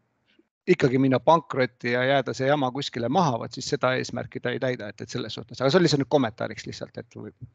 no selge see, teatud augud on äh, alati võimalikud sees ja aga, aga jah, ütleme niiviisi, et, et äh, ühelt poolt on, ma jällegi räägin nüüd nagu, nagu äh, riigi seisukohast vaadatuna on äh, eesmärk EMAS-it kui sellist noh, ütleme kõige äh, nõudlikumat ja eriti, mis puudutab sellist äh, keskkonnanõuete vastavuse osas karmimat äh, juhtimissüsteemi siis rakendama, siis äh, me näeme ja ka teistes riikides, et selline noh, ütleme meetmena või ütleme siis otse välja vitsana, see töötab hästi, eks ju, EMAS-i kasuks. aga mõnes mõttes ma olen sinuga nõus, et, et riskid alati jäävad. aga, aga mis ma, mis ma tahan nüüd veel kord rõhutada, on see, et kindlasti peaks siis äh, noh, jälgima, et, et, et noh, EMAS-i registreeringut noh, ei saaks igasugune suvaline ettevõte tänavalt, aga ma annaksin kohe sõnajutu jätku, jätku üle Mariann sulle, sest sina oled ka jäätmekäitlejate esindaja ja ka ise EMAS rakendamisega tegelenud. kas sa, võib-olla sa siis esitad kohe oma küsimused või kommentaarid jooksvalt ise? ja, aitäh, Harri, tere et tegelikult ma, Harri, tahtsin kõigepealt sinu käest küsida, et kuidas sa mõtled seda, et, et EMAS registreeringut ei tohiks saada siis noh, need ettevõtted, kes, kes justkui nagu on siis noh, nendega nagu sa ütlesid, et eraldame terad sõkaldest, et mismoodi seda, kui ettevõte tegelikult ütleme tõendajale kõik dokumendid ütleme, esitab, kõik on korrektne, ütleme, aruanne on korrektne, esitatakse keskkonnaagentuuri, et mismoodi tegelikult on võimalik seda siis ikkagi seda, neid terasid sõkaldest eraldada sinu arvates? No suure tõenäosusega selge on see, et noh, terad ja sõklad tänapäeval on, sõkalde seas võib ka olla mingisugune selline mahe tunnus ja seda võib ka süüa, aga noh, see oli nagu keerutav vastus praegu, aga et otse välja öelda, siis ega tegelikult esmaauditi puhul seda ei olegi võimalik teha, küll aga on audiitoril võimalik siiski sellesama auditeerimise, kontrollimise protsessi käigus siiski väga konkreetselt äh, hinnata ettevõtte võimet äh, EMAS määruse nõudeid täita äh, ühelt poolt tagasivaatavalt, aga, aga, aga ka eelkõige just läbi selle, et, et sa, et sa tegelikult viid läbi ja, ja fokusseerid oma auditeerimise käigus rohkem just selle keskkonnanõuete täitmise poolt, eks ju ma saan aru, et, et see teema on noh, ongi natukene selline ujuv ja, ja, ja ka on mitmeid näiteid, kus ka ma ise olen, eks ju, auditi käigus ju tuvastanud mitmeid näiteks loanõuetele mittevastavusi, aga, aga see ongi nüüd otsuse küsimus, eks ju, ehk siis kui ikkagi ettevõte ei suuda täita neid nõudeid, siis mina näen, et ta ei peaks EMAS registreeringut omama ja see ei saa olla muidugi ühe auditi küsimus, et see on ikkagi protsess, nii nagu, nii nagu ISO neliteist tuhat ühe puhul, nii ka EMAS-i puhul. eks ju, see auditeerimise nii-öelda suhe ju jätkub ja, ja, ja, ja selles suhtes äh, on oluline, et, äh, et, äh, et see audiitor, eks ju, teeb oma tööd kvaliteetselt ja võtab kõiki neid teemasid arvesse ja nii nagu ma enne ütlesin, ma näen, et on mõistlik võib-olla tekitada selline checklist või juhendmaterjal, mis siis aitaks ka audiitoril, audiitoril seda teemat paremini, nii-öelda seda kontrolli paremini läbi viia. ma ei tea, ma võib-olla nüüd küsiks siis teistpidi Andralt, et vist, sest ma vaatan, Andrest vist ei, ei ole Mart Maad metroselges, et küsite Andralt, et Andrat, kas teie olete siis valmis, et äh, kui nüüd ütleme, noh, tundub, et see klient ikkagi ei ole nagu, nagu piisavalt pädev või selles suhtes, et te olete siis valmis seda klienti kaotama, sest tegelikult täna on see ju vabaturu situatsioon. Jah, et ma lugesin seda su küsimust ka, et kas tõendada on valmis tegelikult jah, täna meil on ainult üks tõendaja, Metroset, keda tundub, et siis täna ei osaleda ja ja meie ei ole valmis äh, veel EMAS-it tegema ja selles suhtes, et äh, igasugused toetusmeetmed on ettevõtetele, aga tegelikult äh, see on suhteliselt ressursikulukas ka sertifitseerimisasutusele, et teha see akrediteering, koolitada audiitorid, EMAS tõendajad, seda akrediteeringut iga aasta elus hoida. Noh, arvestades tänast klientide arvu, seal selle küsimusele ehk vastab keegi järgmine, keegi juba küsis ka palju on EMA-s, siis neid on täna vähe, noh, see arv võib-olla küll kasvab aga ikkagi see kogu see akrediteeringu protsess ja, ja nüüd, kui see, et äh, lisaks ütleme tõesti nüüd see keskkonna loa järelevalve kontroll, et see tegelikult jääb natukene juba ütleme siis väljaspool EMAS käsitlusala. ja kui nüüd seda ka veel lisaks audiitoritele panna, siis tekib küsimus, et kas selleks on vaja audiitoritel täiendavat kompetentsi, täiendavat koolitust, mis jääb rohkem kui nõuab, ütleme täna ISO neliteist tuhat üks audiitor või EMAS-i audiitor. kes neid siis koolitab, kas leht läheb kohustuslikuks või soovituslikuks, et sinal neid agasid on, et, et täna me kindlasti noh, kuna me ei ole ka täna akrediteeritud tõendaja, siis me ei ole ei valmis ei EMAS-it tegema ega ole valmis ka seda äh, järelevalveasutuse kohustusi üle võtma. millal me saame selleks valmis, ma ei oska öelda et meil ei ole hetkel alustanud seda EMAS lähendamise protsessi. et üks võimalus on äh, kasutada ka välisriigi akrediteeringuid, sest EMAS-i puhul sa pead olema tunnustatud asutus, notified body. Äh, Balti riikides ma tean, et ei ole Läti, Leedu ja kas seal üldse EMAS registreeritud kliente on, aga ütleme Bureau Veritas kui rahvusvaheline sertifitseerimisasutus, siis meil on siin ütleme lähim selline oleks Poola, meil hetkel on võib-olla üks projekt käsil, aga nüüd jällegi ongi see seoses selle Covidiga need reisipiirangud ja nii edasi, et, et see välisaudiitori siia kaasamine on natuke komplitseeritud, lisaks äh, peab sel juhul alati osalema kaasas ka kohalik keegi, kes teab kohalikku seadusandlust. Äh, ehk see toob jälle lisakulusid äh, kliendi jaoks, ka need reisikulud, kui on välistõendaja, peab osalema akrediteerimisasutus ehk kõik need kulud kokkuvõttes lähevad nii suureks, et meil tekibki küsimus, kas meil on üldse mõtet sellega tegeleda, et no ma ei tea, et me ei ole veel lõplikule otsusele jõudnud et täna töötab see süsteem, et kellel on neliteist tuhat üks, et kui me meetroselt on tõendaja, siis tema saab teha ainult eemase osa, et ei pea olema, et seda saab selliselt kombineerida, et, et see on mõttekoht, et meie jaoks, et kas me üldse, kas me üldse liigume edasi sellega. Et äh, kindlasti, kui neid ettevõtteid äh, saab rohkem olema, me võtame, hakkame seda kaaluma, aga, aga ma ütlen, et ka meie jaoks ei ole selline, et äh, jah, et näpu nips ja kohe hakkame EMAS-id tegema, see on ikkagi, ma arvan, et see töötajate koolitamine, akrediteeringu saamine, et see on selline noh, võib öelda aastane protsess, et sinnani jõuda. et see on tegelikult täna selline nõrk koht, et ministeeriumi poolt on küll hästi palju nüüd soodustatud seda ettevõtete poolt, aga tegelikult jääb meil ressursse väheks, et see tõendamisi läbi viia no väga hea, et sa selle teema äh, püstitasid, see oligi üks nii-öelda pudelikaelasid, mis on selgelt praegu äh, üles tõstatunud, aga, aga ma vastaksin äh, võib-olla jah, selle kontrolli või õigusliku kontrolli osas nii palju, et, et tõesti mõnevõrra rohkem on vaja audiitoritel pädevust selle, just selle õigusliku poole auditeerimiseks ja, ja, ja nii nagu me vaatame teiste riikide kogemusi, kes on sarnaseid nii-öelda meetmeid just jäätmekäitlusvaldkonnas rakendanud, ka seal on äh, on tegelikult just jäätmekäitlussektori osas selline õigusliku nõuete kontroll, nagu ma ütlesin, selliste checklist'ide ja eraldi ka sertifitseerijate koolituse ja pädevuse tõstmisega suurendatud ja ma arvan, et seda peab, peab kindlasti juurde tegema, aga EMAS-i puhul on noh, ka veel lõppsõna ju öelda tegelikult sellel niinimetatud kohalikul pädeval asutusel, mis on siis Eestis KAUR, eks ju, kes tegelikult lõpuks selle registreeringu välja annab ja ka tema tegelikult ju saab küsida noh, peale selle, et audiitor esitab oma siis äh, tõendus- ja kinnitusprotsessi kokkuvõtte, siis ta ka küsib äh, keskkonnaametkondadelt, et tegelikult see on nagu mõnes mõttes see lõppotsuse ju teeb äh, Kaur, eks ju, selles mõttes, et, et seda ma tahangi öelda, et, et et siin on nagu mõnes, mõnevõrra nagu erinev see ISO neliteist tuhat üks sertifitseerimise protsessist, kuna seesama äh, äh, panus sellisesse hindamise kontrolli ja lõppsõnas tegemisse on veel lisaks juures. et siin võib äh, noh, juba see olla, et kui Keskkonnainspektsioonil on väga selgesti mõne ettevõttega väga olulised teemad üleval, siis need asjad noh, neid ei saa nagu eirata nagu, mis ISO nelisada tuhat ühe puhul võib juhtuda, et, et sellist eraldi noh, ütleme järelevalveametkonna nägemust otseselt ei pruugita ju küsida. lihtsalt selleks informatsiooniks, et siin natukene on see nagu vastutus jagatud, et, et, et ka ametkondlik kontroll on siin äh, arvesse võetud selles EMAS protsessis. nii et selles mõttes, äh, aga ma olen, ma olen nõus, et, et äh, EMAS nii-öelda auditeerijate, sertifitseerijate osas on vaja võimekuse suurendamist, seda eriti praeguses olukorras, kus me kus me oleme tek-, noh, ka õiguslikult ju tegelikult nende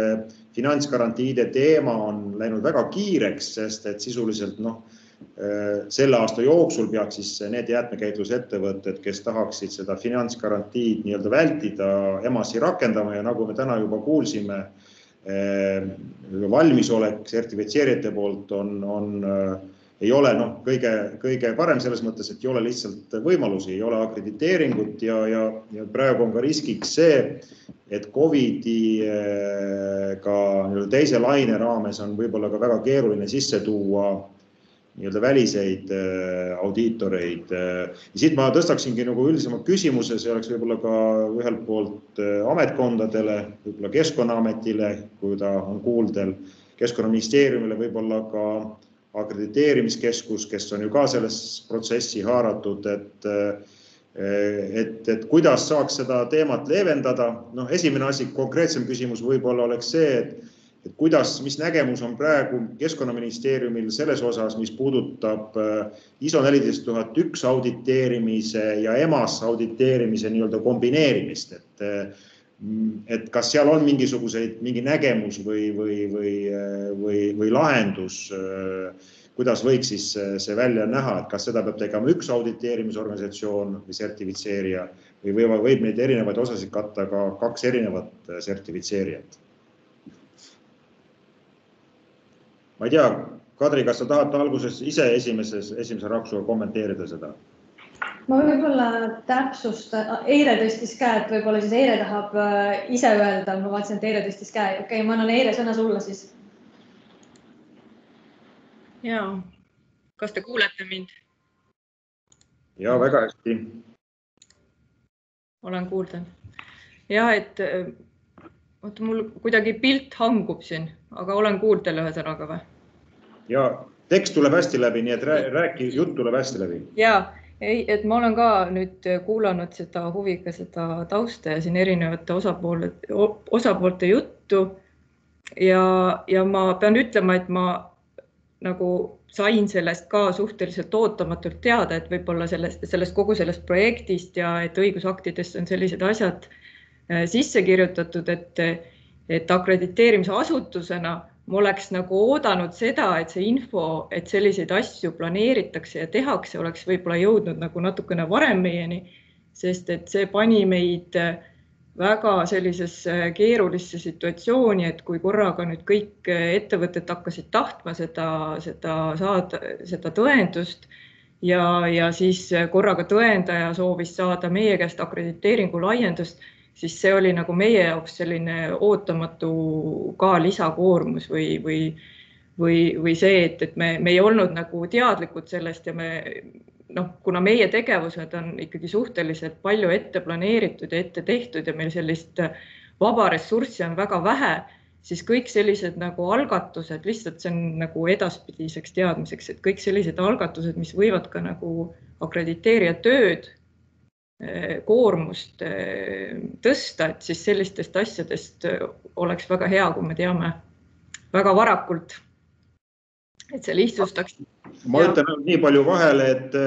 et see on nagu me juba enne mainisime, et see protsess on juba neli aastat käinud ja tegelikult mu kolleegid noogutavad, et akrediteerimiskeskusest on vähemasti mõne, mõni kutse kindlasti eh, saadetud, mis puudutab selliseid, seda protsessi, aga võib-olla, võib-olla see tõesti see äkiline rakendamine oli üllatuseks siis.... ja pigem on see, et see läks nüüd sinna õigusakti sisse ja, ja et see nüüd, nüüd, nüüd, nüüd tuligi, et pigem oli nagu see nagu selline ootamatus, aga see selleks, et tänasel päeval see, et me oleme siin nüüd kaasatud nagu aktiivsemalt, on nagu väga hea ja, ja kõik see, et, et et ma, ma ütlen ka, et need meetmed selles mõttes, mida nüüd rakendatakse selleks, et seda EMA-st tõesti nagu ettevõtted hakkaksid äh,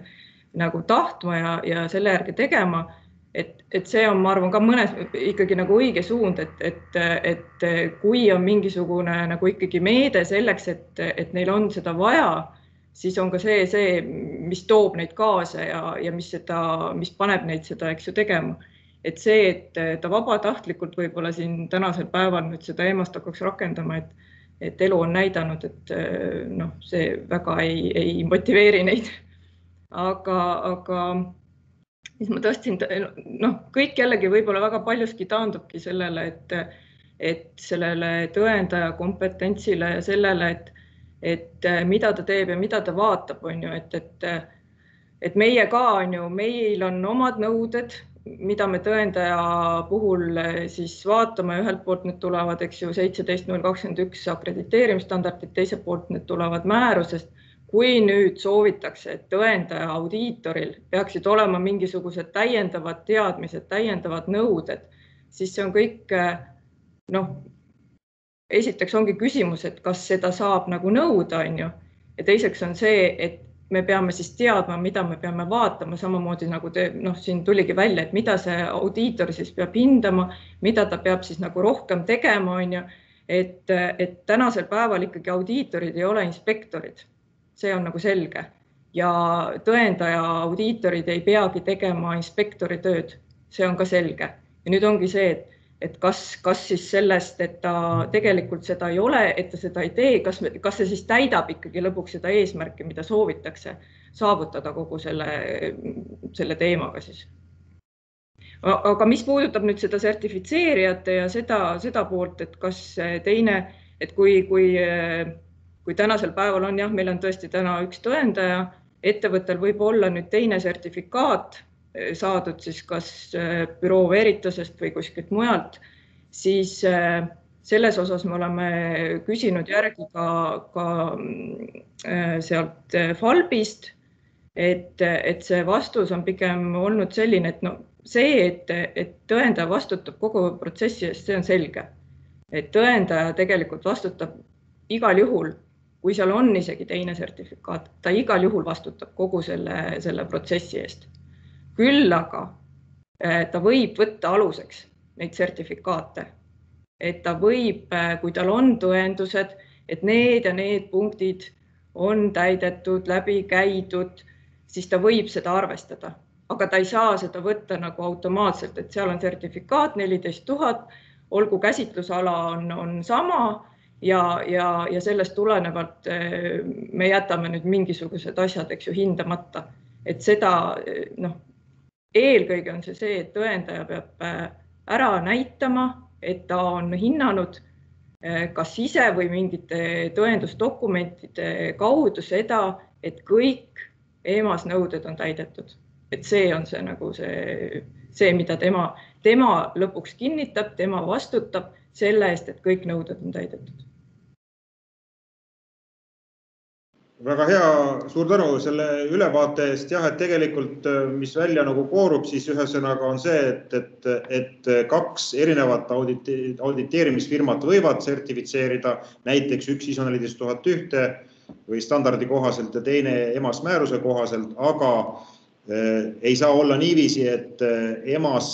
äh, tõendaja kitsalt siis piirdub, ütleme, keskkonnaaruande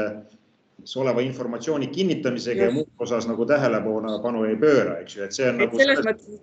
et seal ongi, et eks on, on selles lisas kaks on veel täiendavad nõuded lisaks neliteist tuhat üks nõuetele, et ta ei saa lihtsalt nagu automaatselt võtta seda, et seal on neliteist tuhat sertifikaati, et need nõuded on juba kaetud, eks ju, sertifitseerija poolt ja mina nüüd hindan ainult neid täiendavaid nõudeid ja siis vaatan veel keskkonnaaruannet, et noh, selli-, noh, seda ta ei saa teha, tal peab olema tõendusdokument selleks et kas ta hindab nüüd ise need üle või, või tal on mingid tõendused, et need asjad on hinnatud. muidugi ta peab alati arvestamagi sellega, et, et sertifitseerimise auditid on ju ikkagi nagu pistelised, eks ju. ja, ja, ja see, mida siis sertifitseerija võib-olla seal on vaadanud ja mida ta on teinud, et ta, ta, ta ei pruugigi seda teada. ehk et tema jaoks on ikkagi lõpuks see, et ta peab vaatama need asjad üle ja mhm. hindama need üle, eks ju jah, ja, ja nii nagu sa ütlesid, tegelikult vastutus jääb ikkagi eh, lõppkokkuvõttes sellele audiitorile ja noh, see ongi, mina näengi seda, et eh, ja ma ei oleks nii eh, ka,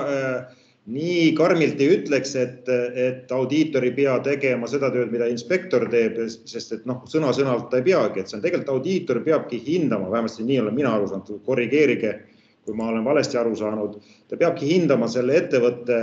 tegevuslaadi, eks ju, iseloomu, keskkonnaohtlikkust ja muid teemasid ja vastavalt sellele siis seadma selle nii-öelda noh, pluss veel muidugi need nii-öelda nii-öelda need lisanõuded, eks ju, mis erinevate guide'idega tulevad sisse, mida ta peab vaatama, aga noh, sisuliselt, kui mahukalt ta seda auditeerimist teeb, noh, ei ole ju ei saa ju võtta näiteks mingisugust, ütleme väikest ettevõtet või, või kontorit ja, ja, ja keemiatööstust ühe vitsaga, et mis ma tahangi öelda, on see, et see on täiesti okei okay,, et EMAS-i puhul tulebki vaadata ettevõtte nii-öelda keskselt ja, ja see auditi maht vastavalt sellele ka siis kujuneb. noh, et seda ei saa väga standardiseerida ja minu kiire vastus selles suhtes, mis puudutab keskkonnainspektsiooni tegemist ja see ei saa see olla, siis muidugi ta ei ole samalaadne ja sama tüübiline, aga eesmärgi mõistes ehk siis õiguslikele nõuetele vastavuse, sealhulgas ka näiteks loa nõuete ülevaatamine peaks küll olema audiitori poolt läbi viidud ja mis mina ise oma kogemusega ütlen, et, et audiitorid siiamaani ei ole väga pädevad seda asja tegema ja nad pigem eh, ei tee seda põhjalikult. see ei tähenda seda, et nad ei pea seda tegema nii et ma ei tea, kas, kas keegi väidab vastu või ei väida, aga ma arvan, et äh, teatud teemavaldkondades ja jäätmekäitlus on kindlasti üks, see oleks põhjust võib-olla ka võib-olla täpsemalt ja, ja põhjalikumalt seda teemat äh, nii-öelda auditeerimise käigus vaatama, nii ISO neliteist tuhat ühe kui ka EMAS-i puhul ei, ma lihtsalt ütlengi, et kuna mina ei tea, mis, mis tööd teeb, eks ju, inspektor täpselt ja missugune pädevus tal peab olema, siis ma ei oska selles osas nagu kommenteerida. meil kui akrediteerijal on need nõuded, mis tulenevad, tulevad seitseteist null kakskümmend üks standardist. Eh, seal on veel eh, keskkonnajuhtimissüsteemidele on veel eh, täiendavad nõuded eraldi dokumendis ja, ja tõendajal on veel omakorda täiendavad nõuded, mis tulevad määrusest. kuidas need lähevad nüüd kokku selle pädevusega, mida nõutakse inspektorilt, seda võrdlust mina ei oska teha, seda ma usun, et te tegitegi selle, sai tehtud selle, selle, selle uuringu raames. Kui see kattub, väga hea, siis ei pea ka akrediteerija mingisuguseid täiendavaid asju vaatama ega hindama ja kui sellest piisab, siis ongi hästi. kui eeldatakse et akrediteerija peaks hakkama veel vaatama mingisuguseid lisanõudeid, siis see on kõik juba sellest tegelikult sellest akrediteerimise ulatusest väljas. Aga võib-olla, et seda teemat natukene siis, seal on paar lahtist teemat on veel koorunud, tuleme nende juurde tagasi, ma, ma, ma saan aru, et Toomas on ka meiega saanud liituda tehnilistest viperustest hoolimata. et nii nagu ma enne olen mitu korda öelnud ja ka ja sellesama Toomase uuringu raames jah, me vaatasime ja üritasime lausa nii kaugele minna, et seda nii-öelda funktsiooni, mis puudutab auditi, auditeerimist ja inspekteerimist lausa nii-öelda ühtlustada. No ja siin tekkis mõnevõrra selliseid küsimusi, aga antud momendil me räägime nagu sellise ütleme õiguslike nõuete, sealhulgas loanõuete kontrolli pädevuse tõstmisest. Ja, ja, ja lõppkokkuvõttes meil on praegu vähemasti koorunud välja selle diskussiooni põhjal, et oleks mõistlik äh, tekitada siis selline checklist, mis tegelikult aitaks äh, audiitoritel paremini läbi viia nende samade õiguslike nõuete kontrolli ja see minu arvates ei ole midagi lisa, vaid see oleks ikkagi see, et tekitada rohkem pädevust, aga Toomas, kui sa oled kuuldel, äkki sa kostad ka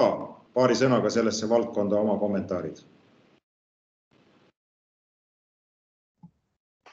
ja tere, olen ma kuuldel või? ja. Ja ega ma jah, ma nüüd nagu viimased viis minutit võib-olla kuulsin, aga et, et kui sa, kui sa küsid, et, et, et, et kas see inspektori ja audiitori töö oleks ühildatav, et, et siis, siis ta tegelikult on, et siin on tõepoolest, mis nagu uuringu käigus välja tuli, on, et põhiliselt on tehnilised küsimused, on üks asi. ehk siis äh,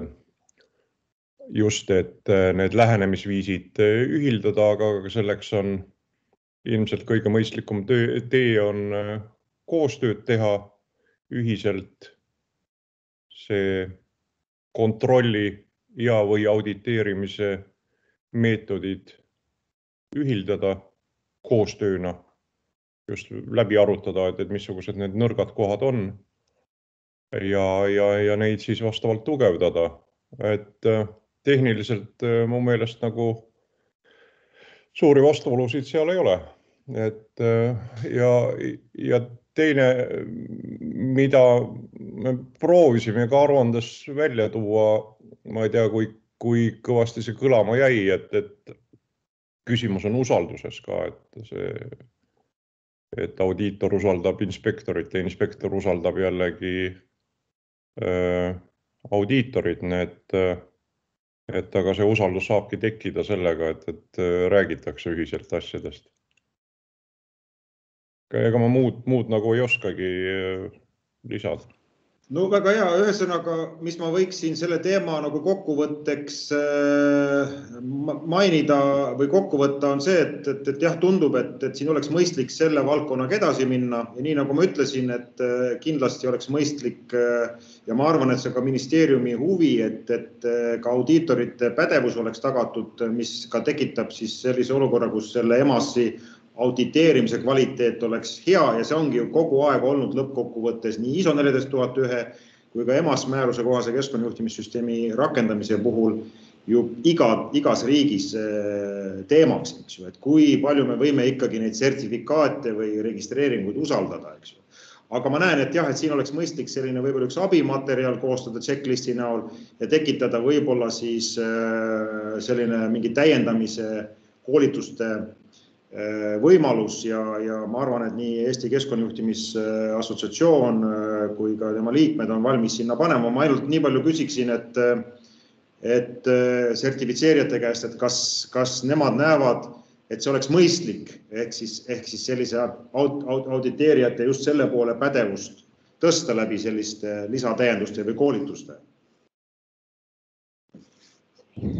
eh,? Ma saan aru, et see oli sertifitseerijale küsimus, et tulevad sulle lo. loomulikult igasugune koolitus ja pädevuse tõstmine on hea, kasulik, aga ma nüüd võib-olla, ma tõesti, kuna ma ise ei ole tõendajad ja EMAS-iga ei tegele, ma äh, lihtsalt tahtsin rõhutada, et see ISO neliteist tuhat ühe puhul ja, ja kui me räägime siis seitseteist null kaks üks akrediteerimisstandardist, mille järgi me oleme akrediteeritud, et seal on tegelikult selgelt öeldud, et õigusaktide temaatika osas, et auditi eesmärgiks on juhtimissüsteemi võimekuse, võimekuse kindlaks määramine selle tagamiseks, et klient täidab kohaldatavad seadusjärgseid regulatiivseid ja lepingulisi nõudeid. ja ääremärkusena on kohe öeldud, et juhtimissüsteemi sertifitseerimise audit ei ole õigusaktidele vastavuse audit et ja, ja nagu ka Eire mainis, et noh, kui nüüd tahetakse mingit tõesti mina ikkagi pean vahet siin on see inspektori roll ja audiitori roll just sellest samast võib-olla sellest tulenevalt.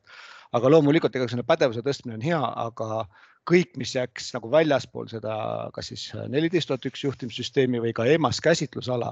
et äh, ei saaks olla, noh, ma ei tea, kuidas seda panna nagu audiitoritele kohustuseks, et äh, pigem on see lihtsalt niisugune soovitus, usalduse küsimus, õpetame välja, aga et mingeid täiendavaid kohustusi panna, mis jääb väljaspoole käsitlusala, et siis see on minu arust natuke selline küsitav koht või küsimärgi koht. ma tooks võib-olla paralleeli siin, kui me rääkisime see suurettevõtete energiaauditist on ju sama, et see eh, on olemas energiaaudiitorid, et on võimalus teha üks kord nelja aasta jooksul energiaaudit või siis, kui see on energiajuhtimissüsteem ja energiajuhtimissüsteemi audiitoril ja energiaaudiitoril on täiesti erinevad pädevuse nõuded, et ühed lähevadki, et energiajuhtimissüsteemi audiitor ei, ei ole ega saagi olla ega hakkagi kunagi olema samaväärse pädevusega. ehk siin võib ju paralleeli tuua, et ma usun, et ka keskkonnajuhtimissüsteemi süsteemi audiitor ei saa ega hakkagi olema kunagi inspektori pädevusega, lihtsalt selliseid ressursse ei ole ja selliseid noh, ja see lähebki väljaspoole meie sertifitseerimise ulatust. aga igasugune koostöö, inimeste arendamine, see on kindlasti selline teretulnud, et see oleks nagu minu kommentaar. väga hea, mõistlikud kommentaarid, mida võiks arvesse võtta, kas Eire tahab veel midagi lisada selles suhtes, ma näen, et käsi on püsti.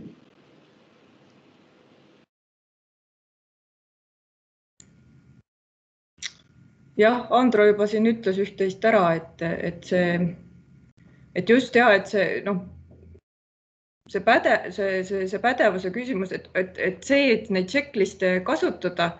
see on nagu mõistlik ja, ja pigem nad ei tohiks muidugi jälle, kui me teeme nad kohustuslikuks, siis täp, täpselt jälle tekib see, et see on kuidagi mingisugune täiendav nõue siin Eesti riigis, samas samas meil on ikkagi nagu need nõuded, mille järgi meie akrediteerime, ükskõik kelle puhul on ikkagi tulevad, on ju sellest standardist või siis äh, määrusest, et kõik sellised täiendavad nõuded lähevad välja nagu, nagu sellest meie sellest, äh, sellest ulatusest, äh, mis järgi meie nagu tavaliselt, eks ju, siis hindame. et, et pigem sellised checklist'id juhul, kui neid teha noh, nad saaksidki olla nagu soovituslikud, eks ju, et, et, et siis ei tekiks nagu seda probleemi, et me teeme siin oma riigis mingisuguseid täiendavaid nõudeid, on ju, ja siis sellega tekib see, noh, tekivad nagu probleemid, et, et, et kuidas me saame niisuguseid täiendavaid asju jällegi kuskile noh, noh, ma ütlen, et minul ei ole aluseks võt-, no mina võtan ikkagi aluseks need akrediteerimiskriteeriumid, mis mul täna on, on ju et aga sellised soovituslikud iseenesest dokumendid, noh, ma saan aru, et kui seda ka mujal maailmas tehakse, nii nagu ma sinu jutust kuulsin, eks ju, et siis tegelikult noh, seda ongi hea kuulda, et kuidas see teiste riikide praktika selles vallas on, et kui selliseid meetmeid on mujal tehtud, et kas seal on ka siis kuidagi audiitoritele või nendele tõendajatele ka siis mingisuguseid täiendavaid pädevusi kuidagi tehtud või, või on ikkagi needsamad et ma tegelikult tahaksin nagu see, sellist infot ka võib-olla nagu kuulda, et ma sain aru, et niisugune checklist on tehtud, soovituslik checklist, mis iseenesest ei ole paha, kui ta on soovituslik. aga et kas nende audiitorite, et kas see toimib ka mujal maailmas siis nagu nõnda ja, ja kas need, need tõendajate pädevuse osas siis need, on seal mingeid lisaasju või seal ei ole mingeid lisaasju või, või et, et noh, seda võib-olla ma ei tea, seda võib-olla äkki ka siis äh, ma saan kellegi käest nagu küsida hiljem juurde või, või? jah, enne kui ma, Mariann, sulle sõna annan, ma siis siiski nagu põgusalt kommenteerin ja, ja, ja arvan ka, et äh, ka me oleme seda teemat arutanud ka teiste projektis, Enhance projekti partneritega, noh nagu me ju teame, Saksamaa, Austria Hispaania ja Itaalia on ju EMAS-it rakendanud juba noh, usinalt, seal on see põhimõtteliselt EMAS ongi no, väga laialt levinud, eks ju. ja noh, ma võin nii palju ainult öelda, et tegelikult selle EMAS määruse kesksesse süsteemi võib liikmesriik lisada oma õigusaktidega igasugu lisaasju, kui ta tahab. Aga no, see on väga noh, selline pigem nagu selline Austria-Saksamaa, kus, kus on veel nagu noh, sa võid ju kohaliku regulatsiooniga, see EMAS määrusele sa võid alati lisaks tekitada lisanõudeid ja, ja asju, mida, mida peabki arvesse võtma ja seda on ka vähemal määral tehtud. aga kui me räägime sellisest äh, nii-öelda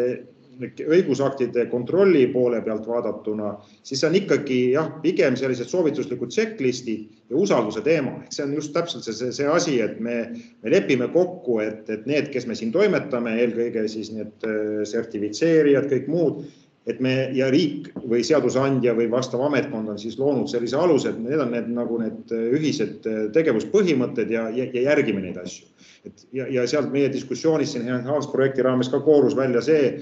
et mõistlik oleks seda teha jah, mitte väga regulatiivselt hakata siia sisse tulema, sest et siis sa, siis sa tekitad pigem jällegi. turutõkkeid siin teiste riikide. tekitad jumala lisas, lisa sellise noh, sa tekitad nagu vastupidi barjääre juurde, eks ju, et eesmärk oleks, oleks, eesmärk oleks ju ühine parendada keskkonnategevuse tulemuslikkust ja seda võimalikult väikse, väikse sellise bürokraatilise äh, hinnaga ja, ja, ja, ja koostöös siis osapooltega, nii et jah, need asjad on paljuski usalduse teema ja pigem nagu Hispaanias nemad ka praegu täiendavad seda süsteemi, kus nad on seda rakendanud, seal ka on see pigem siis selline äh, soovituslik checklist. Mm. Aga no muidugi ma selles mõttes nagu just, et, et, et meil on väga nagu noh, ikkagi reeglid, mida me audiitorite, audiitorite ja tõendajate puhul siis nagu hindame, et tegelikult võib-olla ma ikkagi nagu seal osas ka tahaksingi siis nagu tulevikus teada, et kas need kriteeriumid, mille alusel me täna siis nagu hindame seda pädevust tõendaja puhul, kas need on siis nagu piisavad selleks, et teie täidaksite, eks ju, oma oma eesmärki, mida te selle, selle, nende muudatustega nagu soovite nagu täita, on ju, et noh, et siin tegelikult ju lõpuks see, see taandubki väga palju nagu sellele tõendaja audiitori pädevusele, eks ju. ja meil on täna mingid kriteeriumid, mille järgi me seda pädevust hindame, on ju, aga võib-olla peab seal olema mingisuguseid täiendavaid nagu, et sellest ei piisa, on ju, või siis piisab. Ma arvan, et see on hea mõte, et, et, et nii nagu ma enne juba üritasin ka tuua välja, et see võiks olla siis üks selline ühine eh, ühine, ühine, ühine teema, mida, millega me võiksime edasi minna ja, ja kindlasti me paneme selle kirja, Keskkonnaministeerium ka, et me saaksime siis seda süsteemi võimalikult nii-öelda vähese bürokraatiaga äh, viia siis sellisele tasemele, mis, mis oleks nii ettevõtjate seisukohast, sertifitseerijate, akrediteerijate, kõigi seisukohalt optimaalne. väga hea, kui nüüd selles osas keegi ei taha juurde öelda, ma annaksin siis. korra veel, ma ühte ja. asja veel ütlen, et, et ja et noh, Andro tõi välja, et sertifitseerijate puhul nad pigem vaatavad seda nagu seda süsteemi, aga tegelikult EMAS-e puhul, nagu siin on kogu aeg rõhutatud, siin EMAS-e puhul on ikkagi rõhk hästi palju sellele õigusaktidele vastavuse osas, et sellepärast see EMAS ongi see mis on nagu ikkagi midagi rohkemat, kuigi emase puhul ka öeldakse, et tegelikult ikkagi ega see tõendaja ei ole ikkagi lõplikult ikkagi see inspektor. ta ei, ikkagi ei tee seda tööd, mida teeb, eks ju, see täitevasutus, et seda ka ikkagi rõhutatakse. ja alati. Ei, muidugi, muidugi tal ei saa olla sama, sama rolli, aga jah, tegelikult on. tema roll tema roll ikkagi on suurem kui, kui neliteist tuhat üks audiitoril et, et ja. seda, see ongi see rõhuasetus, mis on, mis on nagu siin, mida siin nagu rohkem on, eks ju. ja, ja, ja, ja, ja noh, minu jaoks on ka alati olnud see küsimus, et, et kui tegelikult nüüd see äh, EMA-se käigus leitakse ikkagi mingisuguseid mittevastavusi, et, et ei vasta, eks ju, seal teatud mingisugustele õigusaktidele, eks ju, et siis mis see tõendaja siis nagu äh, kas ta siis ikkagi väljastab selle deklaratsiooni või ta ei väljasta, kui on ikkagi selgelt nagu mittevastavus ja mingeid parendusi ega mingisuguseid kuskilt koos ei ole saadud luba, et selleks ajaks tuleb mingi asi nagu ära parandada, siis tõendaja mingit deklaratsiooni kohe kindlasti ei väljasta. kui on seal nagu, eks ju, ikkagi näha, et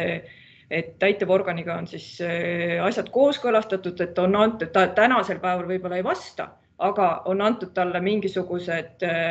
mingisugused tähtajad, et selle aja jooksul ta peab nagu tegema, et siis see deklaratsioon antakse, et selline kontroll on ka selle tõendaja puhul ikkagi olemas, et, et aga noh, jällegi tema ei tee mingeid trahve, tema ei pane kedagi kinni lõppkokkuvõttes, et seda teebki siis ikkagi see täitevorgan Eh, või siis, eks ju, seal, kui see pädev asutus hakkab asju nagu üle vaatama, on ju. väga hea, aga Mariann ja siis Toomas, aga Mariann ennem.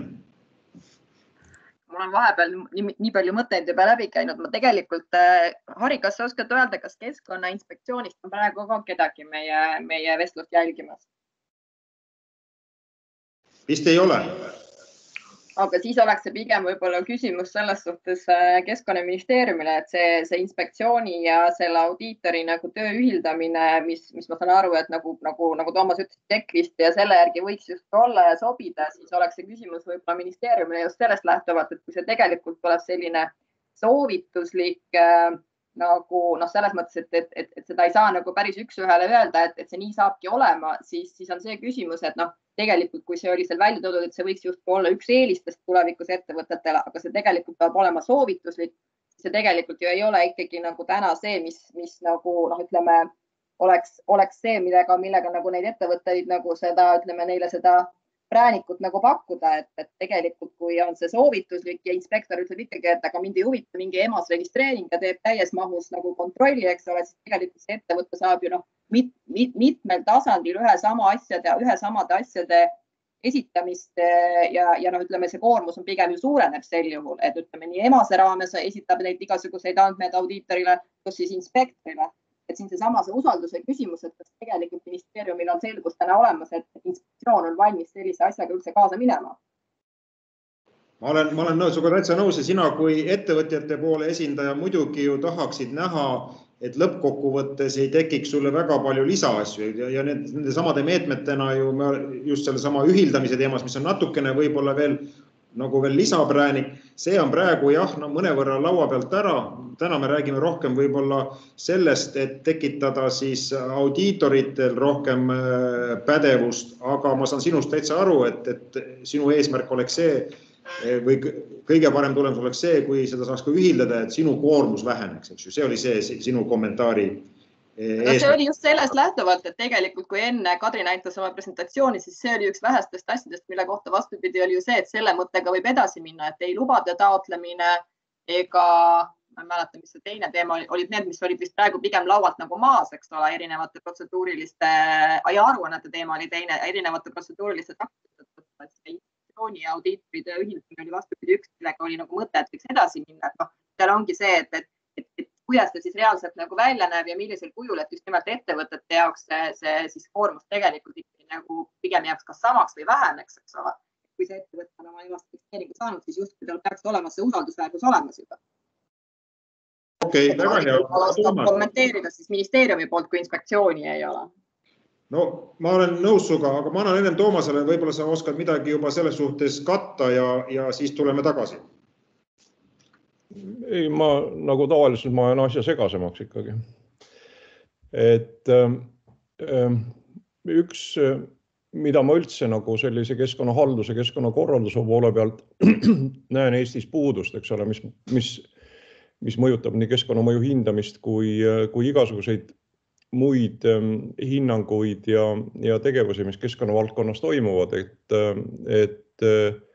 äh, millega ju kokku põrkuvad tegelikult nii inspektorid kui audiitorid, on see, et äh, nende ülesanne sisuliselt, mis on küll sarnane, on objektiivse informatsiooni kogu, kogumine. et et, et praegu nii inspektor kui audiitor teeb äh, otsused suhteliselt sellise subjektiivse info põhjal ja, ja talle on antud ähm, või noh, ta peab siis rakendama suhteliselt palju oma teadmisi, fantaasiat, võimalusi, et selles siis ähm, ettevõtte poolt esitatava informatsiooni põhjal teha siis teatud järeldusi, aga, aga see ongi ju sageli on sellise juttude tasemel üksikud äh, üksikud infokillud sellest või to tollest eh, ja, ja, ja, ja vastavalt sellele siis, eks ole, teeb nii audiitor kui inspektor oma, oma järeldused, eks ole, et kas on vastavus siis eh, standardinõuetele või, või, eh, või õigusaktide nõuete täitmine on tagatud. et mis ma tahan öelda, on, on see, et mida, mis aitaks kaasa võib-olla kogu selle süsteemi rakendamisele on, on keskkonnainfo, ettevõtete poolt kogutava keskkonnainfo objektiivsuse tõstmine. pean silmas just seda igasuguseid mõõtmisi, seireid, ülestähendusi, records, nii nagu ta inglisekeelses variandis on, eks. et, et, et seda oleks juba tunduvalt lihtsam, lihtsam kontrollida nii audiitoritel kui kui ähm, inspektoritele, et, et see on see objektiivne info, mille põhjal, mille põhjal otsuseid saab teha, eks ole, et, et muidu on, äh, muidu on selline jutu tasemel ja siis peab, peab andma hinnangu jah, et, et kas see on nii või on see naa. Et, et nüüd nagu konkreetsemaks ja, ja emase konteksti tulla, siis mis mu enda mõtteid pärast, pärast selle töö tegemist on, on see, et äh, vot selles Emase uues versioonis on siis äh, vist selline termin nagu keskkonnatoime, eks ole. et, ähm, et ma nagu isiklikult näeksin, et, et kui, kui see termin Eesti jaoks sisustada, selle keskkonnatoime siis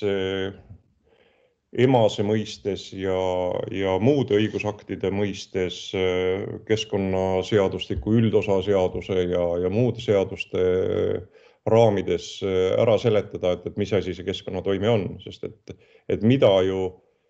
tegelikult siis keskkonnainspektor ja keskkonnaaudiitor ka taga ajavad, on see, et, et keskkond oleks puhas, eks ole, et keskkond oleks hoitud. Ja, ja neid äh, näitajaid nii heite kui ähm, kui mingisuguse koormuse poole pealt, aga ka keskkonnanäitajaid ise mõõtes on, on selline võimalus, eks ole, seda objektiivset informatsiooni koguda ja selle põhjal siis noh, selle keskkonnatoime kohta on võimalik tegelikult väga objektiivselt öelda, eks ole, on see keskkonna hea seisund tagatud või ei ole see tagatud. ja seda saab teha siis sõltumatult nii audiitor kui, kui keskkonnainspektor sellise numbrilise informatsiooni põhjal. sest et äh, muus osas siis noh, jah, nende teed, teed lahknevad, üks läheb vaatama, kas süsteem toimib ja, ja pidev areng oleks tagatud. ja, ja teine vaatab, et kas õigusaktide nõuded oleksid, äh, oleksid täidetud, noh nagu detailide osas, eks ole. et, et see on noh, nagu kogu, kogu temaatika natukene laiemale tõmbamine ja, ja, ja ka, ka samas siis nagu sellise süsteemselt äh, mitte Demingi ringi, aga, aga sellise hindamisringi ikkagi kinnivedamine, sest et seal just hinnata seda, et, et kas, kas, kas ettevõtte käitis nüüd tõepoolest teeb midagi, mis omab mõtet keskkonna seisukohast ka või mitte, eks ole, et, et selle, see objektiivne info mõõtmiste, objektiivsete mõõtmiste puhul on, on see, mis selle ringi nii-öelda kinni paneks no väga hea sellise teema laialitõmbamise osas, sest et jah, seda me ka ju nendel ümarlaudadel, mis sinu poolt veetud projekti raames üritasime tõstatada ja minu arvates on see oluline nagu üldisemas plaanis kogu sellisesse keskkonnaseadusandluse ja, ja ideoloogiasse sisse tuua, sest vastasel juhul me kipume võib-olla jääma mingisuguse süsteemi efektiivsemaks tegemiseks, aga meil kaob see, see eesmärk eest ära, et mis on see nagu see suur eesmärk, eks ju me, me siiani oleme tõesti rääkinud keskkonnategevuse tulemuslikust, aga, aga toime, eks ju, tegelikult jah, et see on nüüd nagu see, mida EMAS rõhutab ja toob läbi selle tegelikult selle nagu uudse lähenemise just sellise Euroopa Liidu keskkonnapoliitika tegeliku nagu eesmärgi paremini sisse. aga siiski veel, et tagasi tulles, tagasi veel nende nii-öelda spetsiifiliste küsimuste juurde, eks ju, väga selgesti ja ma vahepeal vastan ka Sandrale, et täna vist on kaks äh, ettevõtet, organisatsioone rohkem, ma pean siin silmas ministeeriumi, aga, aga ettevõtted on kaks, kes on sertifitseeritud EMAS kohaselt. aga tänase,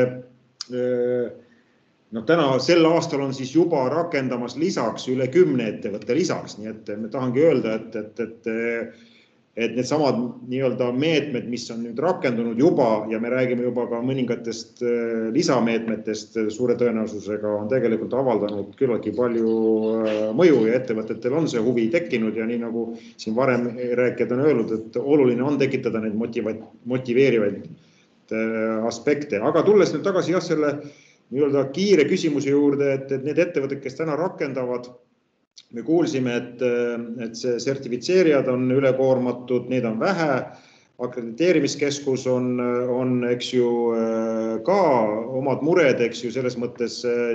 noh, ettevõtted, ma olen aru saanud, küsivad, et kas nüüd selle tempo või mõtlen, me peame siin silmas just seda jäätmekäitlussektorit, kellel on väga selgesti teemaks seesama garantiide asi. et kas siin on mingisuguseid leevendusi, kuidas ametkonnad sellesse suhtuvad, eelkõige võib-olla Keskkonnaamet, kui me räägime siin loa pikendamistest või, või, või muudest teemadest, et kas, kas, kas peab ettevõttel olema EMAS sertifikaat laual, et saada nii-öelda seaduse kohaselt see ainukene võimalus, et siis selle garantii osas leevendust saada, et kas siin keegi võiks äkki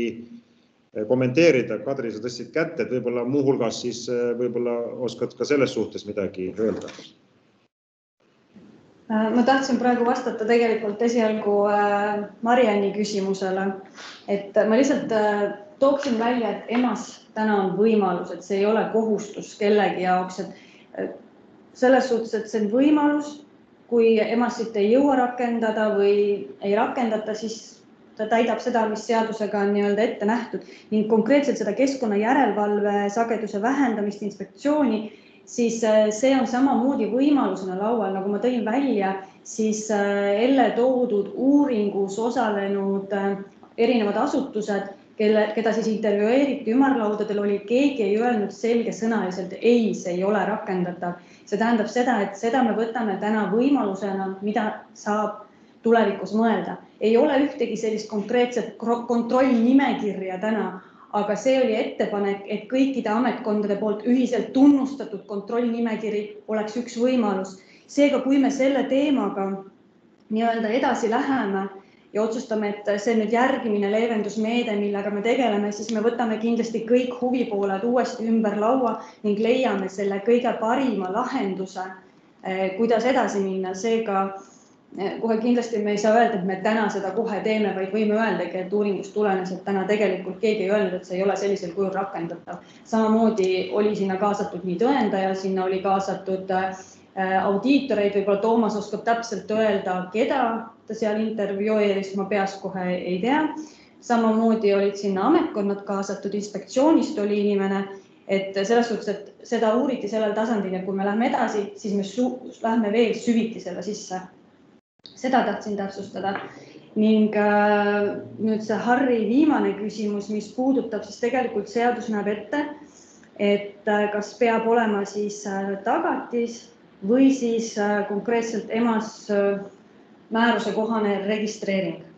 selles suhtes samamoodi ma ütlesin, et seadus ütleb, et peab olema tagatis, aga tal on võimalus seda asendada siis EMAS registreeringuga. et kuidas täpselt olukorras, noh, meil on olemas nii-öelda pikendusvõimalus neile, äh, kes on täna juba EMO-s äh, nii-öelda registreeritud ning äh, kelle nii-öelda tõendused ning kontrollkäigud jäid ära seoses siis eriolukorraga, nii-öelda Covidiga, et siis sellest tulenevalt on Keskkonnaagentuuril olemas juhised, kuidas saab seda registreeringu tähtaega pikendada. kui me räägime nüüd uutest nii-öelda registreeringutest ning keskkonnalubade nõuetest, siis ma tõesti arvan, et kõige mõistlikum oleks pöörduda otse Keskkonnaameti poole, kellega saabki siis võib-olla üksikjuhtumi põhiselt arutada, millest tulenevalt ja kuidas nad täna ei jõua, sest noh, nagu ma ütlesin, ütleb ka Keskkonnaamet, temast täna on tegelikult võimalus, et ta ei ole ju kohustus. et ma ei tea, Toomas, kui sa tahad kommenteerida veel näiteks äh, seda valmisolekut intervjuudes, siis äh, sa võid seda teha, aga kui on täiendavaid küsimusi, võib meile ka kirjutada. Mariann vist jõudis siin vahele võib-olla konkreetsemalt selle, selle auditeerimisprotsessi osas oli vist sul küsimus, ma loodan. ma tegelikult tahtsin kommenteerida sedasama Kadri seda, et noh, et, et Keskkonnaametiga rääkida, et tegelikult see nii ei ole. keskkonnaametil on täna täiesti konkreetne seisukoht, kas tagatis äh,, garantii, eks ole, või siis reaalne registreering. Võttes arvesse seda, eks ole, et vahepeal oli äh, eriolukord, kus tegelikult teatud protsessid ei toimunud, ettevõtted ei saanud edasi liikuda sellega, mis puudutab esmast tõendamist, eks ole. Nüüd äh, võttes arvesse ka seda, et Metroserdil on tegelikult, kui me räägime jäätmekäitluse valdkonnast, alates augustist olemas see akrediteering ja arvestades protsesside nagu noh, selles mõttes tegelikult protsess ei ole ju nii, et, et, et noh, keegi käib kuskil auditil ära ja nüüd järgmine päev esitab aruande või ütleme, selles mõttes kinnitab aruande ja siis ülejärgmine päev Keskkonnaagentuur omakorda ka kinnitab selle, siis, siis tänases olukorras, septembri keskpaigas siis, siis, siis, siis ma arvan, et äh, see on äh, noh, see võimekuse küsimus on ikkagi nagu väga keeruline, isegi kui ettevõtetel on valmidus olemas, siis kas ja kuidas neid reaalselt jõutakse esimeseks jaanuariks, sest mina pigem arvan, et ei jõuta. ma ei tea, võib-olla mõni teine jäätmekäitleja, ma vaatasin, et siin on vist teisi esindajaid, et, et võib-olla keegi teine tahab kommenteerida oma kogemust. Jah, et tegelikult mulle tundub ja mul, mulle tundub ka see, et see Covid tõstab jälle natukene meil siin pead, et, et, et võib-olla oleks mõistlik ikkagi mingisugune pikendus või mingi, mingisugune nii-öelda kokkulepe saavutada, et üks variant on, et kõik ettevõtted käivad siis omaette Keskkonnaametiga rääkimas, aga mul tundub, mulle tundub, et võib-olla oleks mõistlik mingi ühine otsus ikkagi teha. ma ei tea, kas meil Keskkonnaameti esindaja ka siin kuulab või kes tahaks sõna sekka öelda või, või vähemasti anda märku, et kas sellel teemal praegu saab või võib rääkida või mis, mis see arvamus võiks olla?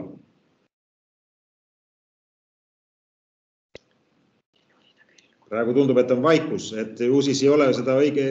täpset positsiooni välja kujundatud, aga, aga eelneva jutu põhjal ma, mulle praegu tundub, et see võiks olla tehtud, eks ju, ma saan aru ja ma arvan, et ettevõtjad oleks selle üle väga õnnelikud, kui mingisugune äh, nii-öelda leevendus ka selles suhtes tuleb või siis vähemasti väga selgesti see välja öelda, et ei tule, et noh, ma saan aru, et teine variant on see, et, et antud juhul siis see, see finantstagatis tuleb tekitada ja siis saab selle mingisuguses järgmises etapis, aga noh, see oleks mõnevõrra võib-olla narr, eks ju, aga teisest küljest ma olen ka ametkondliku nägemusega võib-olla kursis, et äh, ei saa anda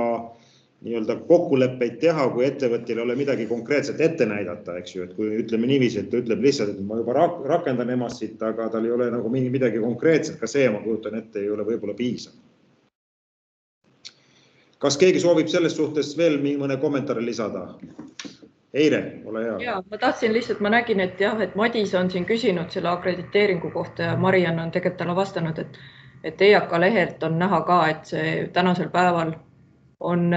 on Metroserdil eh, toimunud akrediteeringu osas laiendus ja see laiendus on alates kahekümne kuuendast augustist tal olemas, et, et akrediteerija poolt oleme hetkel küll oma, oma protsessi nagu lõpetanud ja, ja üldjuhul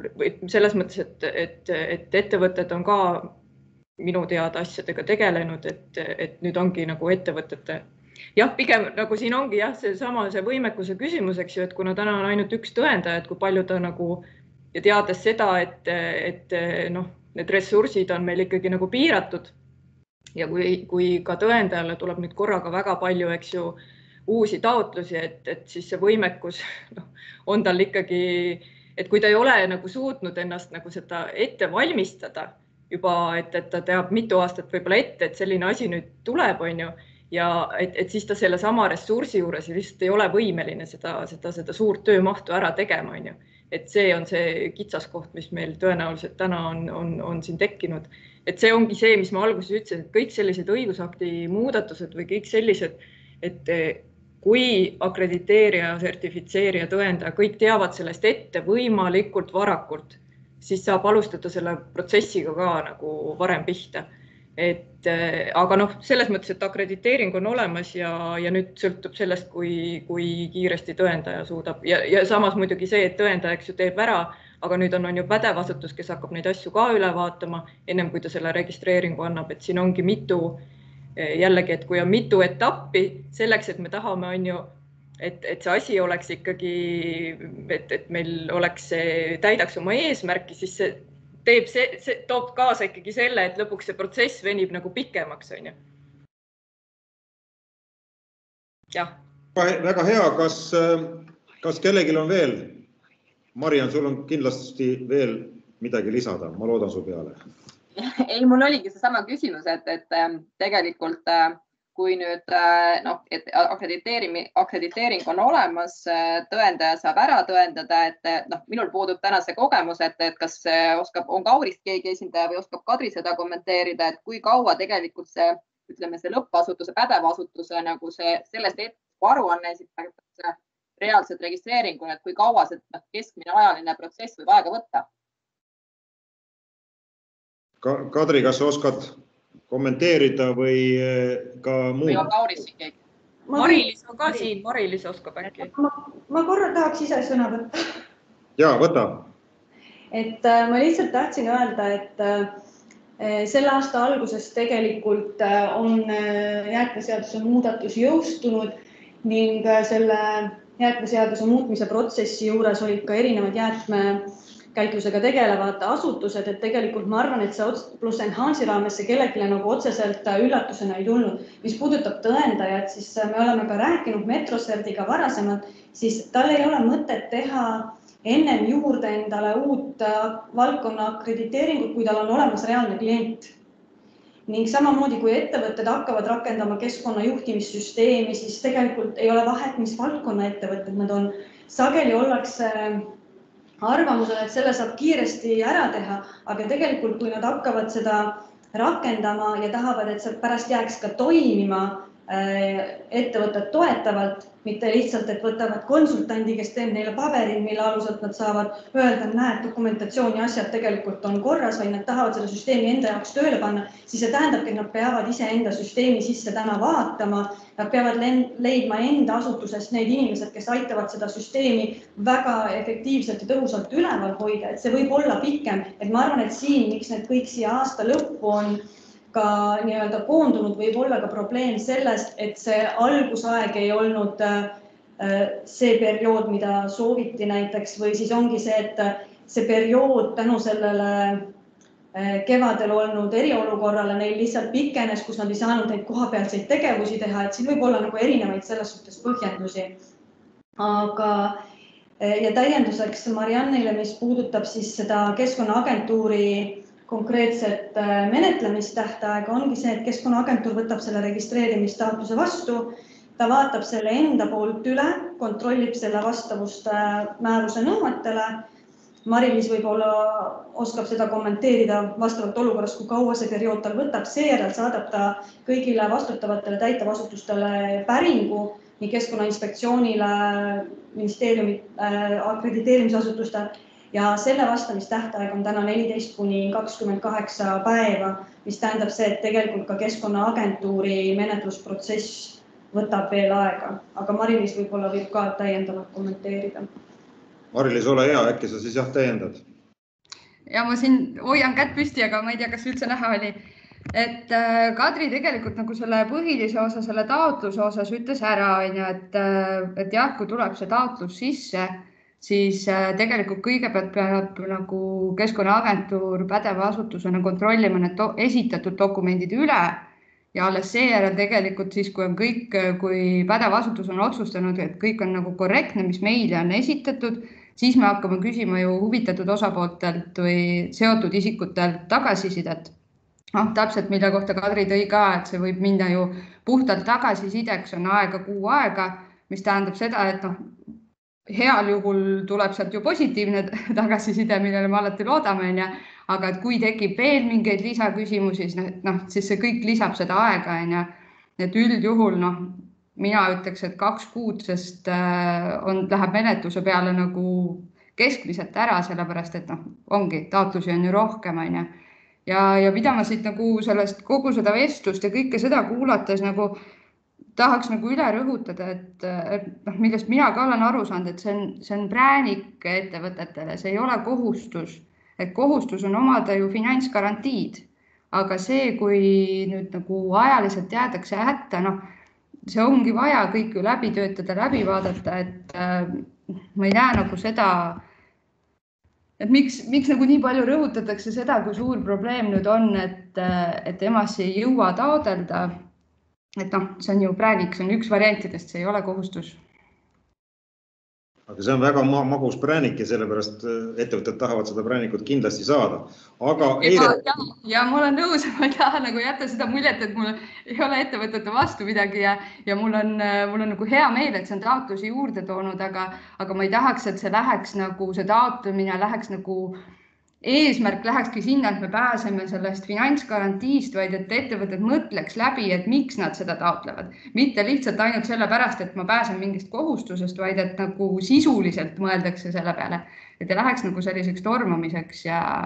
ei oleks nii suur rõhk sellest, sellel präänikul nagu selles osas. väga hea, aga Eire tahab veel kindlasti. ja, ma lihtsalt tahtsingi korra seda öelda, et, et selle jah, et sellest me võime olla nagu või, või, või võib-olla nagu see, et kui see läks sinna jäätmeseadusesse sisse siin aasta alguses ja, ja sellega ma olen nagu Kadriga nõus, et tõendaja ei hakka ka enne meilt mingisugust laiendust äh, taotlema, kui tal, kui tal klienti ei ole, eks ju. esiteks me, me, me teemegi tavaliselt vaatlusi ja siis me peamegi käima vaatlema tõendajat on ju, et, et sealt tekivad juba see, need asjad, et ta ei saagi meil ennem demonstreerida, kui ta klienti ei ole, on ju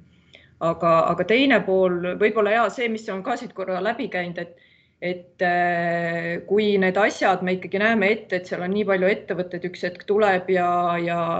ja, ja kas me ikkagi jõuame selle nagu ära teha, et võib-olla see, see, see, sellesama, see tähtaja nagu teema on ju, et see on nüüd, ma saan aru, siis järgmise aasta algusest hakkab nagu rakenduma, et et alati võib-olla mõeldagi seda, et kas me, kui me paneme nagu sellise lühike aja, lühikese aja ja me tahaks ikkagi, et ettevõtted oleksid valmis selleks, kuigi see on nagu siin on rõhutatud, et see on ainult üks võimalus, on ju. aga me ikkagi tahame, et nad ei tormaks ja nad ikkagi ja seda EMA-st rakendaks ja nad rakendaks seda e, ikkagi ju, ju teeksid seda selleks, et see süsteem nagu pareneks, et siis peakski võib-olla mõtlema sellele ajale, mis me neile ikkagi anname, on ju, et kas me oleme sellel ajal valmis selleks et kas akrediteerija on valmis, kas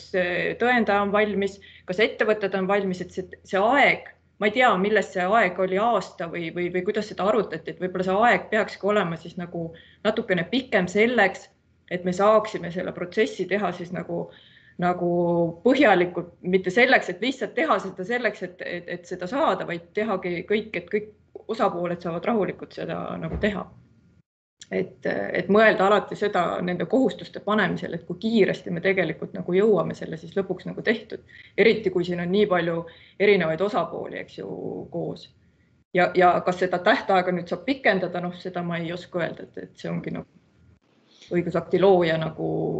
öelda, on ju selge, väga hea,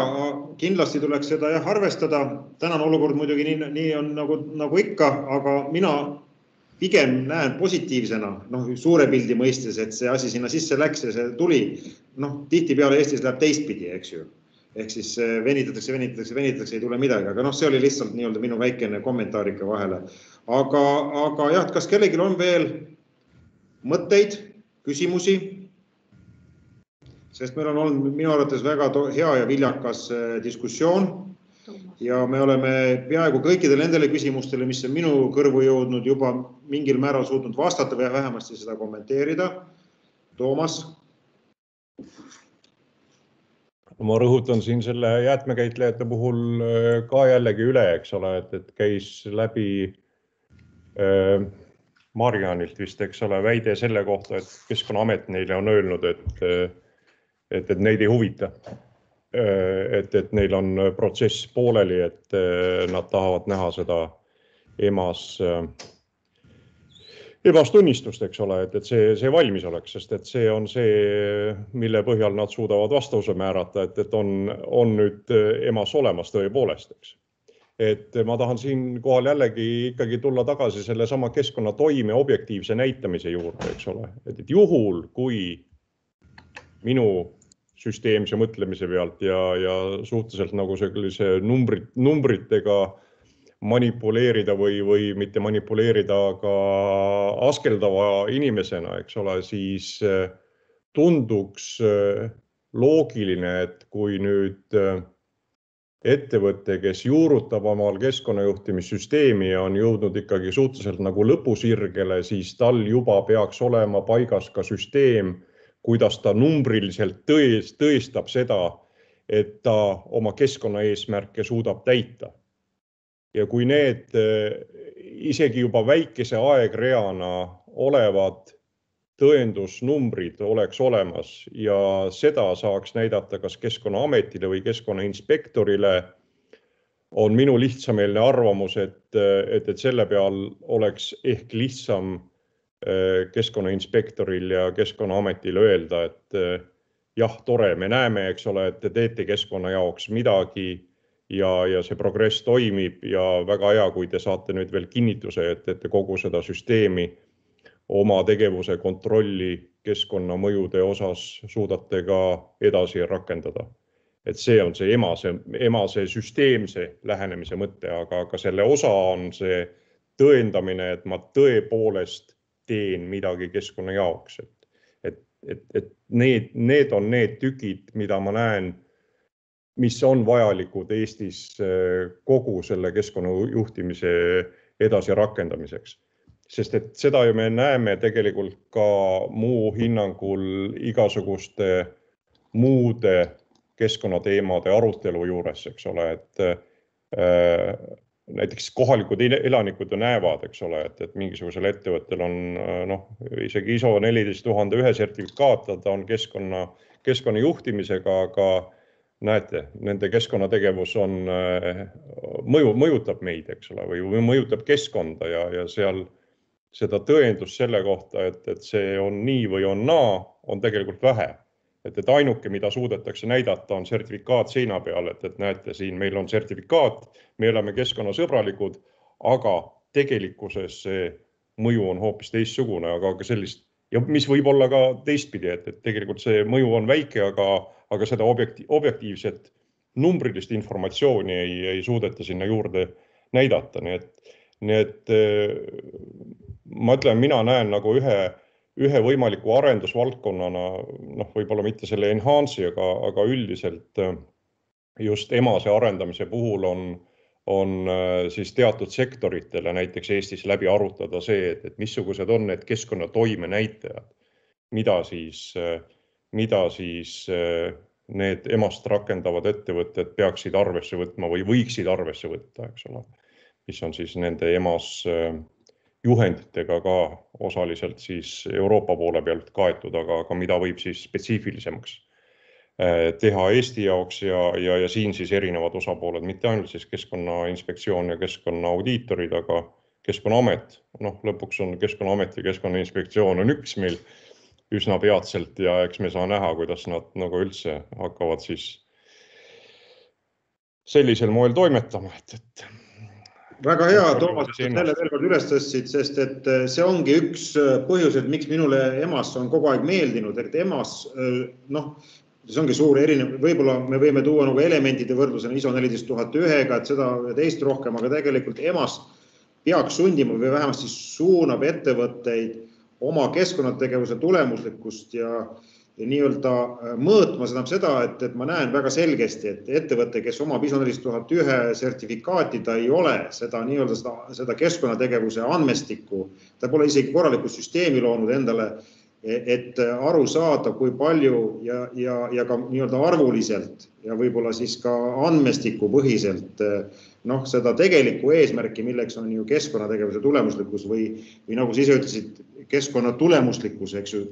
toime tule, toime, eks ju, et selle, selle asi, et see on kaugem eesmärk ja me peame nagu sellepärast võib-olla natukene suutma väljapoole vaadata sellisest ütleme regulatsioonikeskusest, eks ju, ja see natukene võib-olla selgitus audiitoritele, et mis, miks see Toomas ja Harri vahetevahel pikalt asjast räägivad, aga see on tegelikult see eesmärk ja ma tegelikult näen, et eh, EMAS tegelikult vähemasti suunab ettevõtteid seda andmehaldamise süsteemi tõhustama, parendama. ma ise näen seda ka praegu ettevõtteid nõustades EMAS rakendamisel ehk see, ehk see on tegelikult vajab eh, olulist eh, kaasaaitamist või järgiaitamist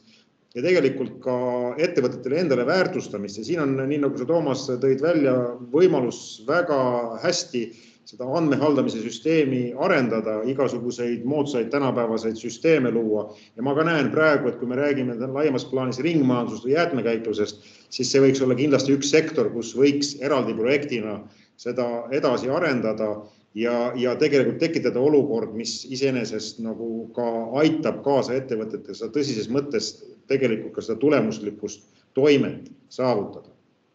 vot nii, aga kas meil on veel mingit kommentaari, meil on natukene aega, aga see ei tähenda, et me peame aja täis rääkima. mina olen juba suurema osa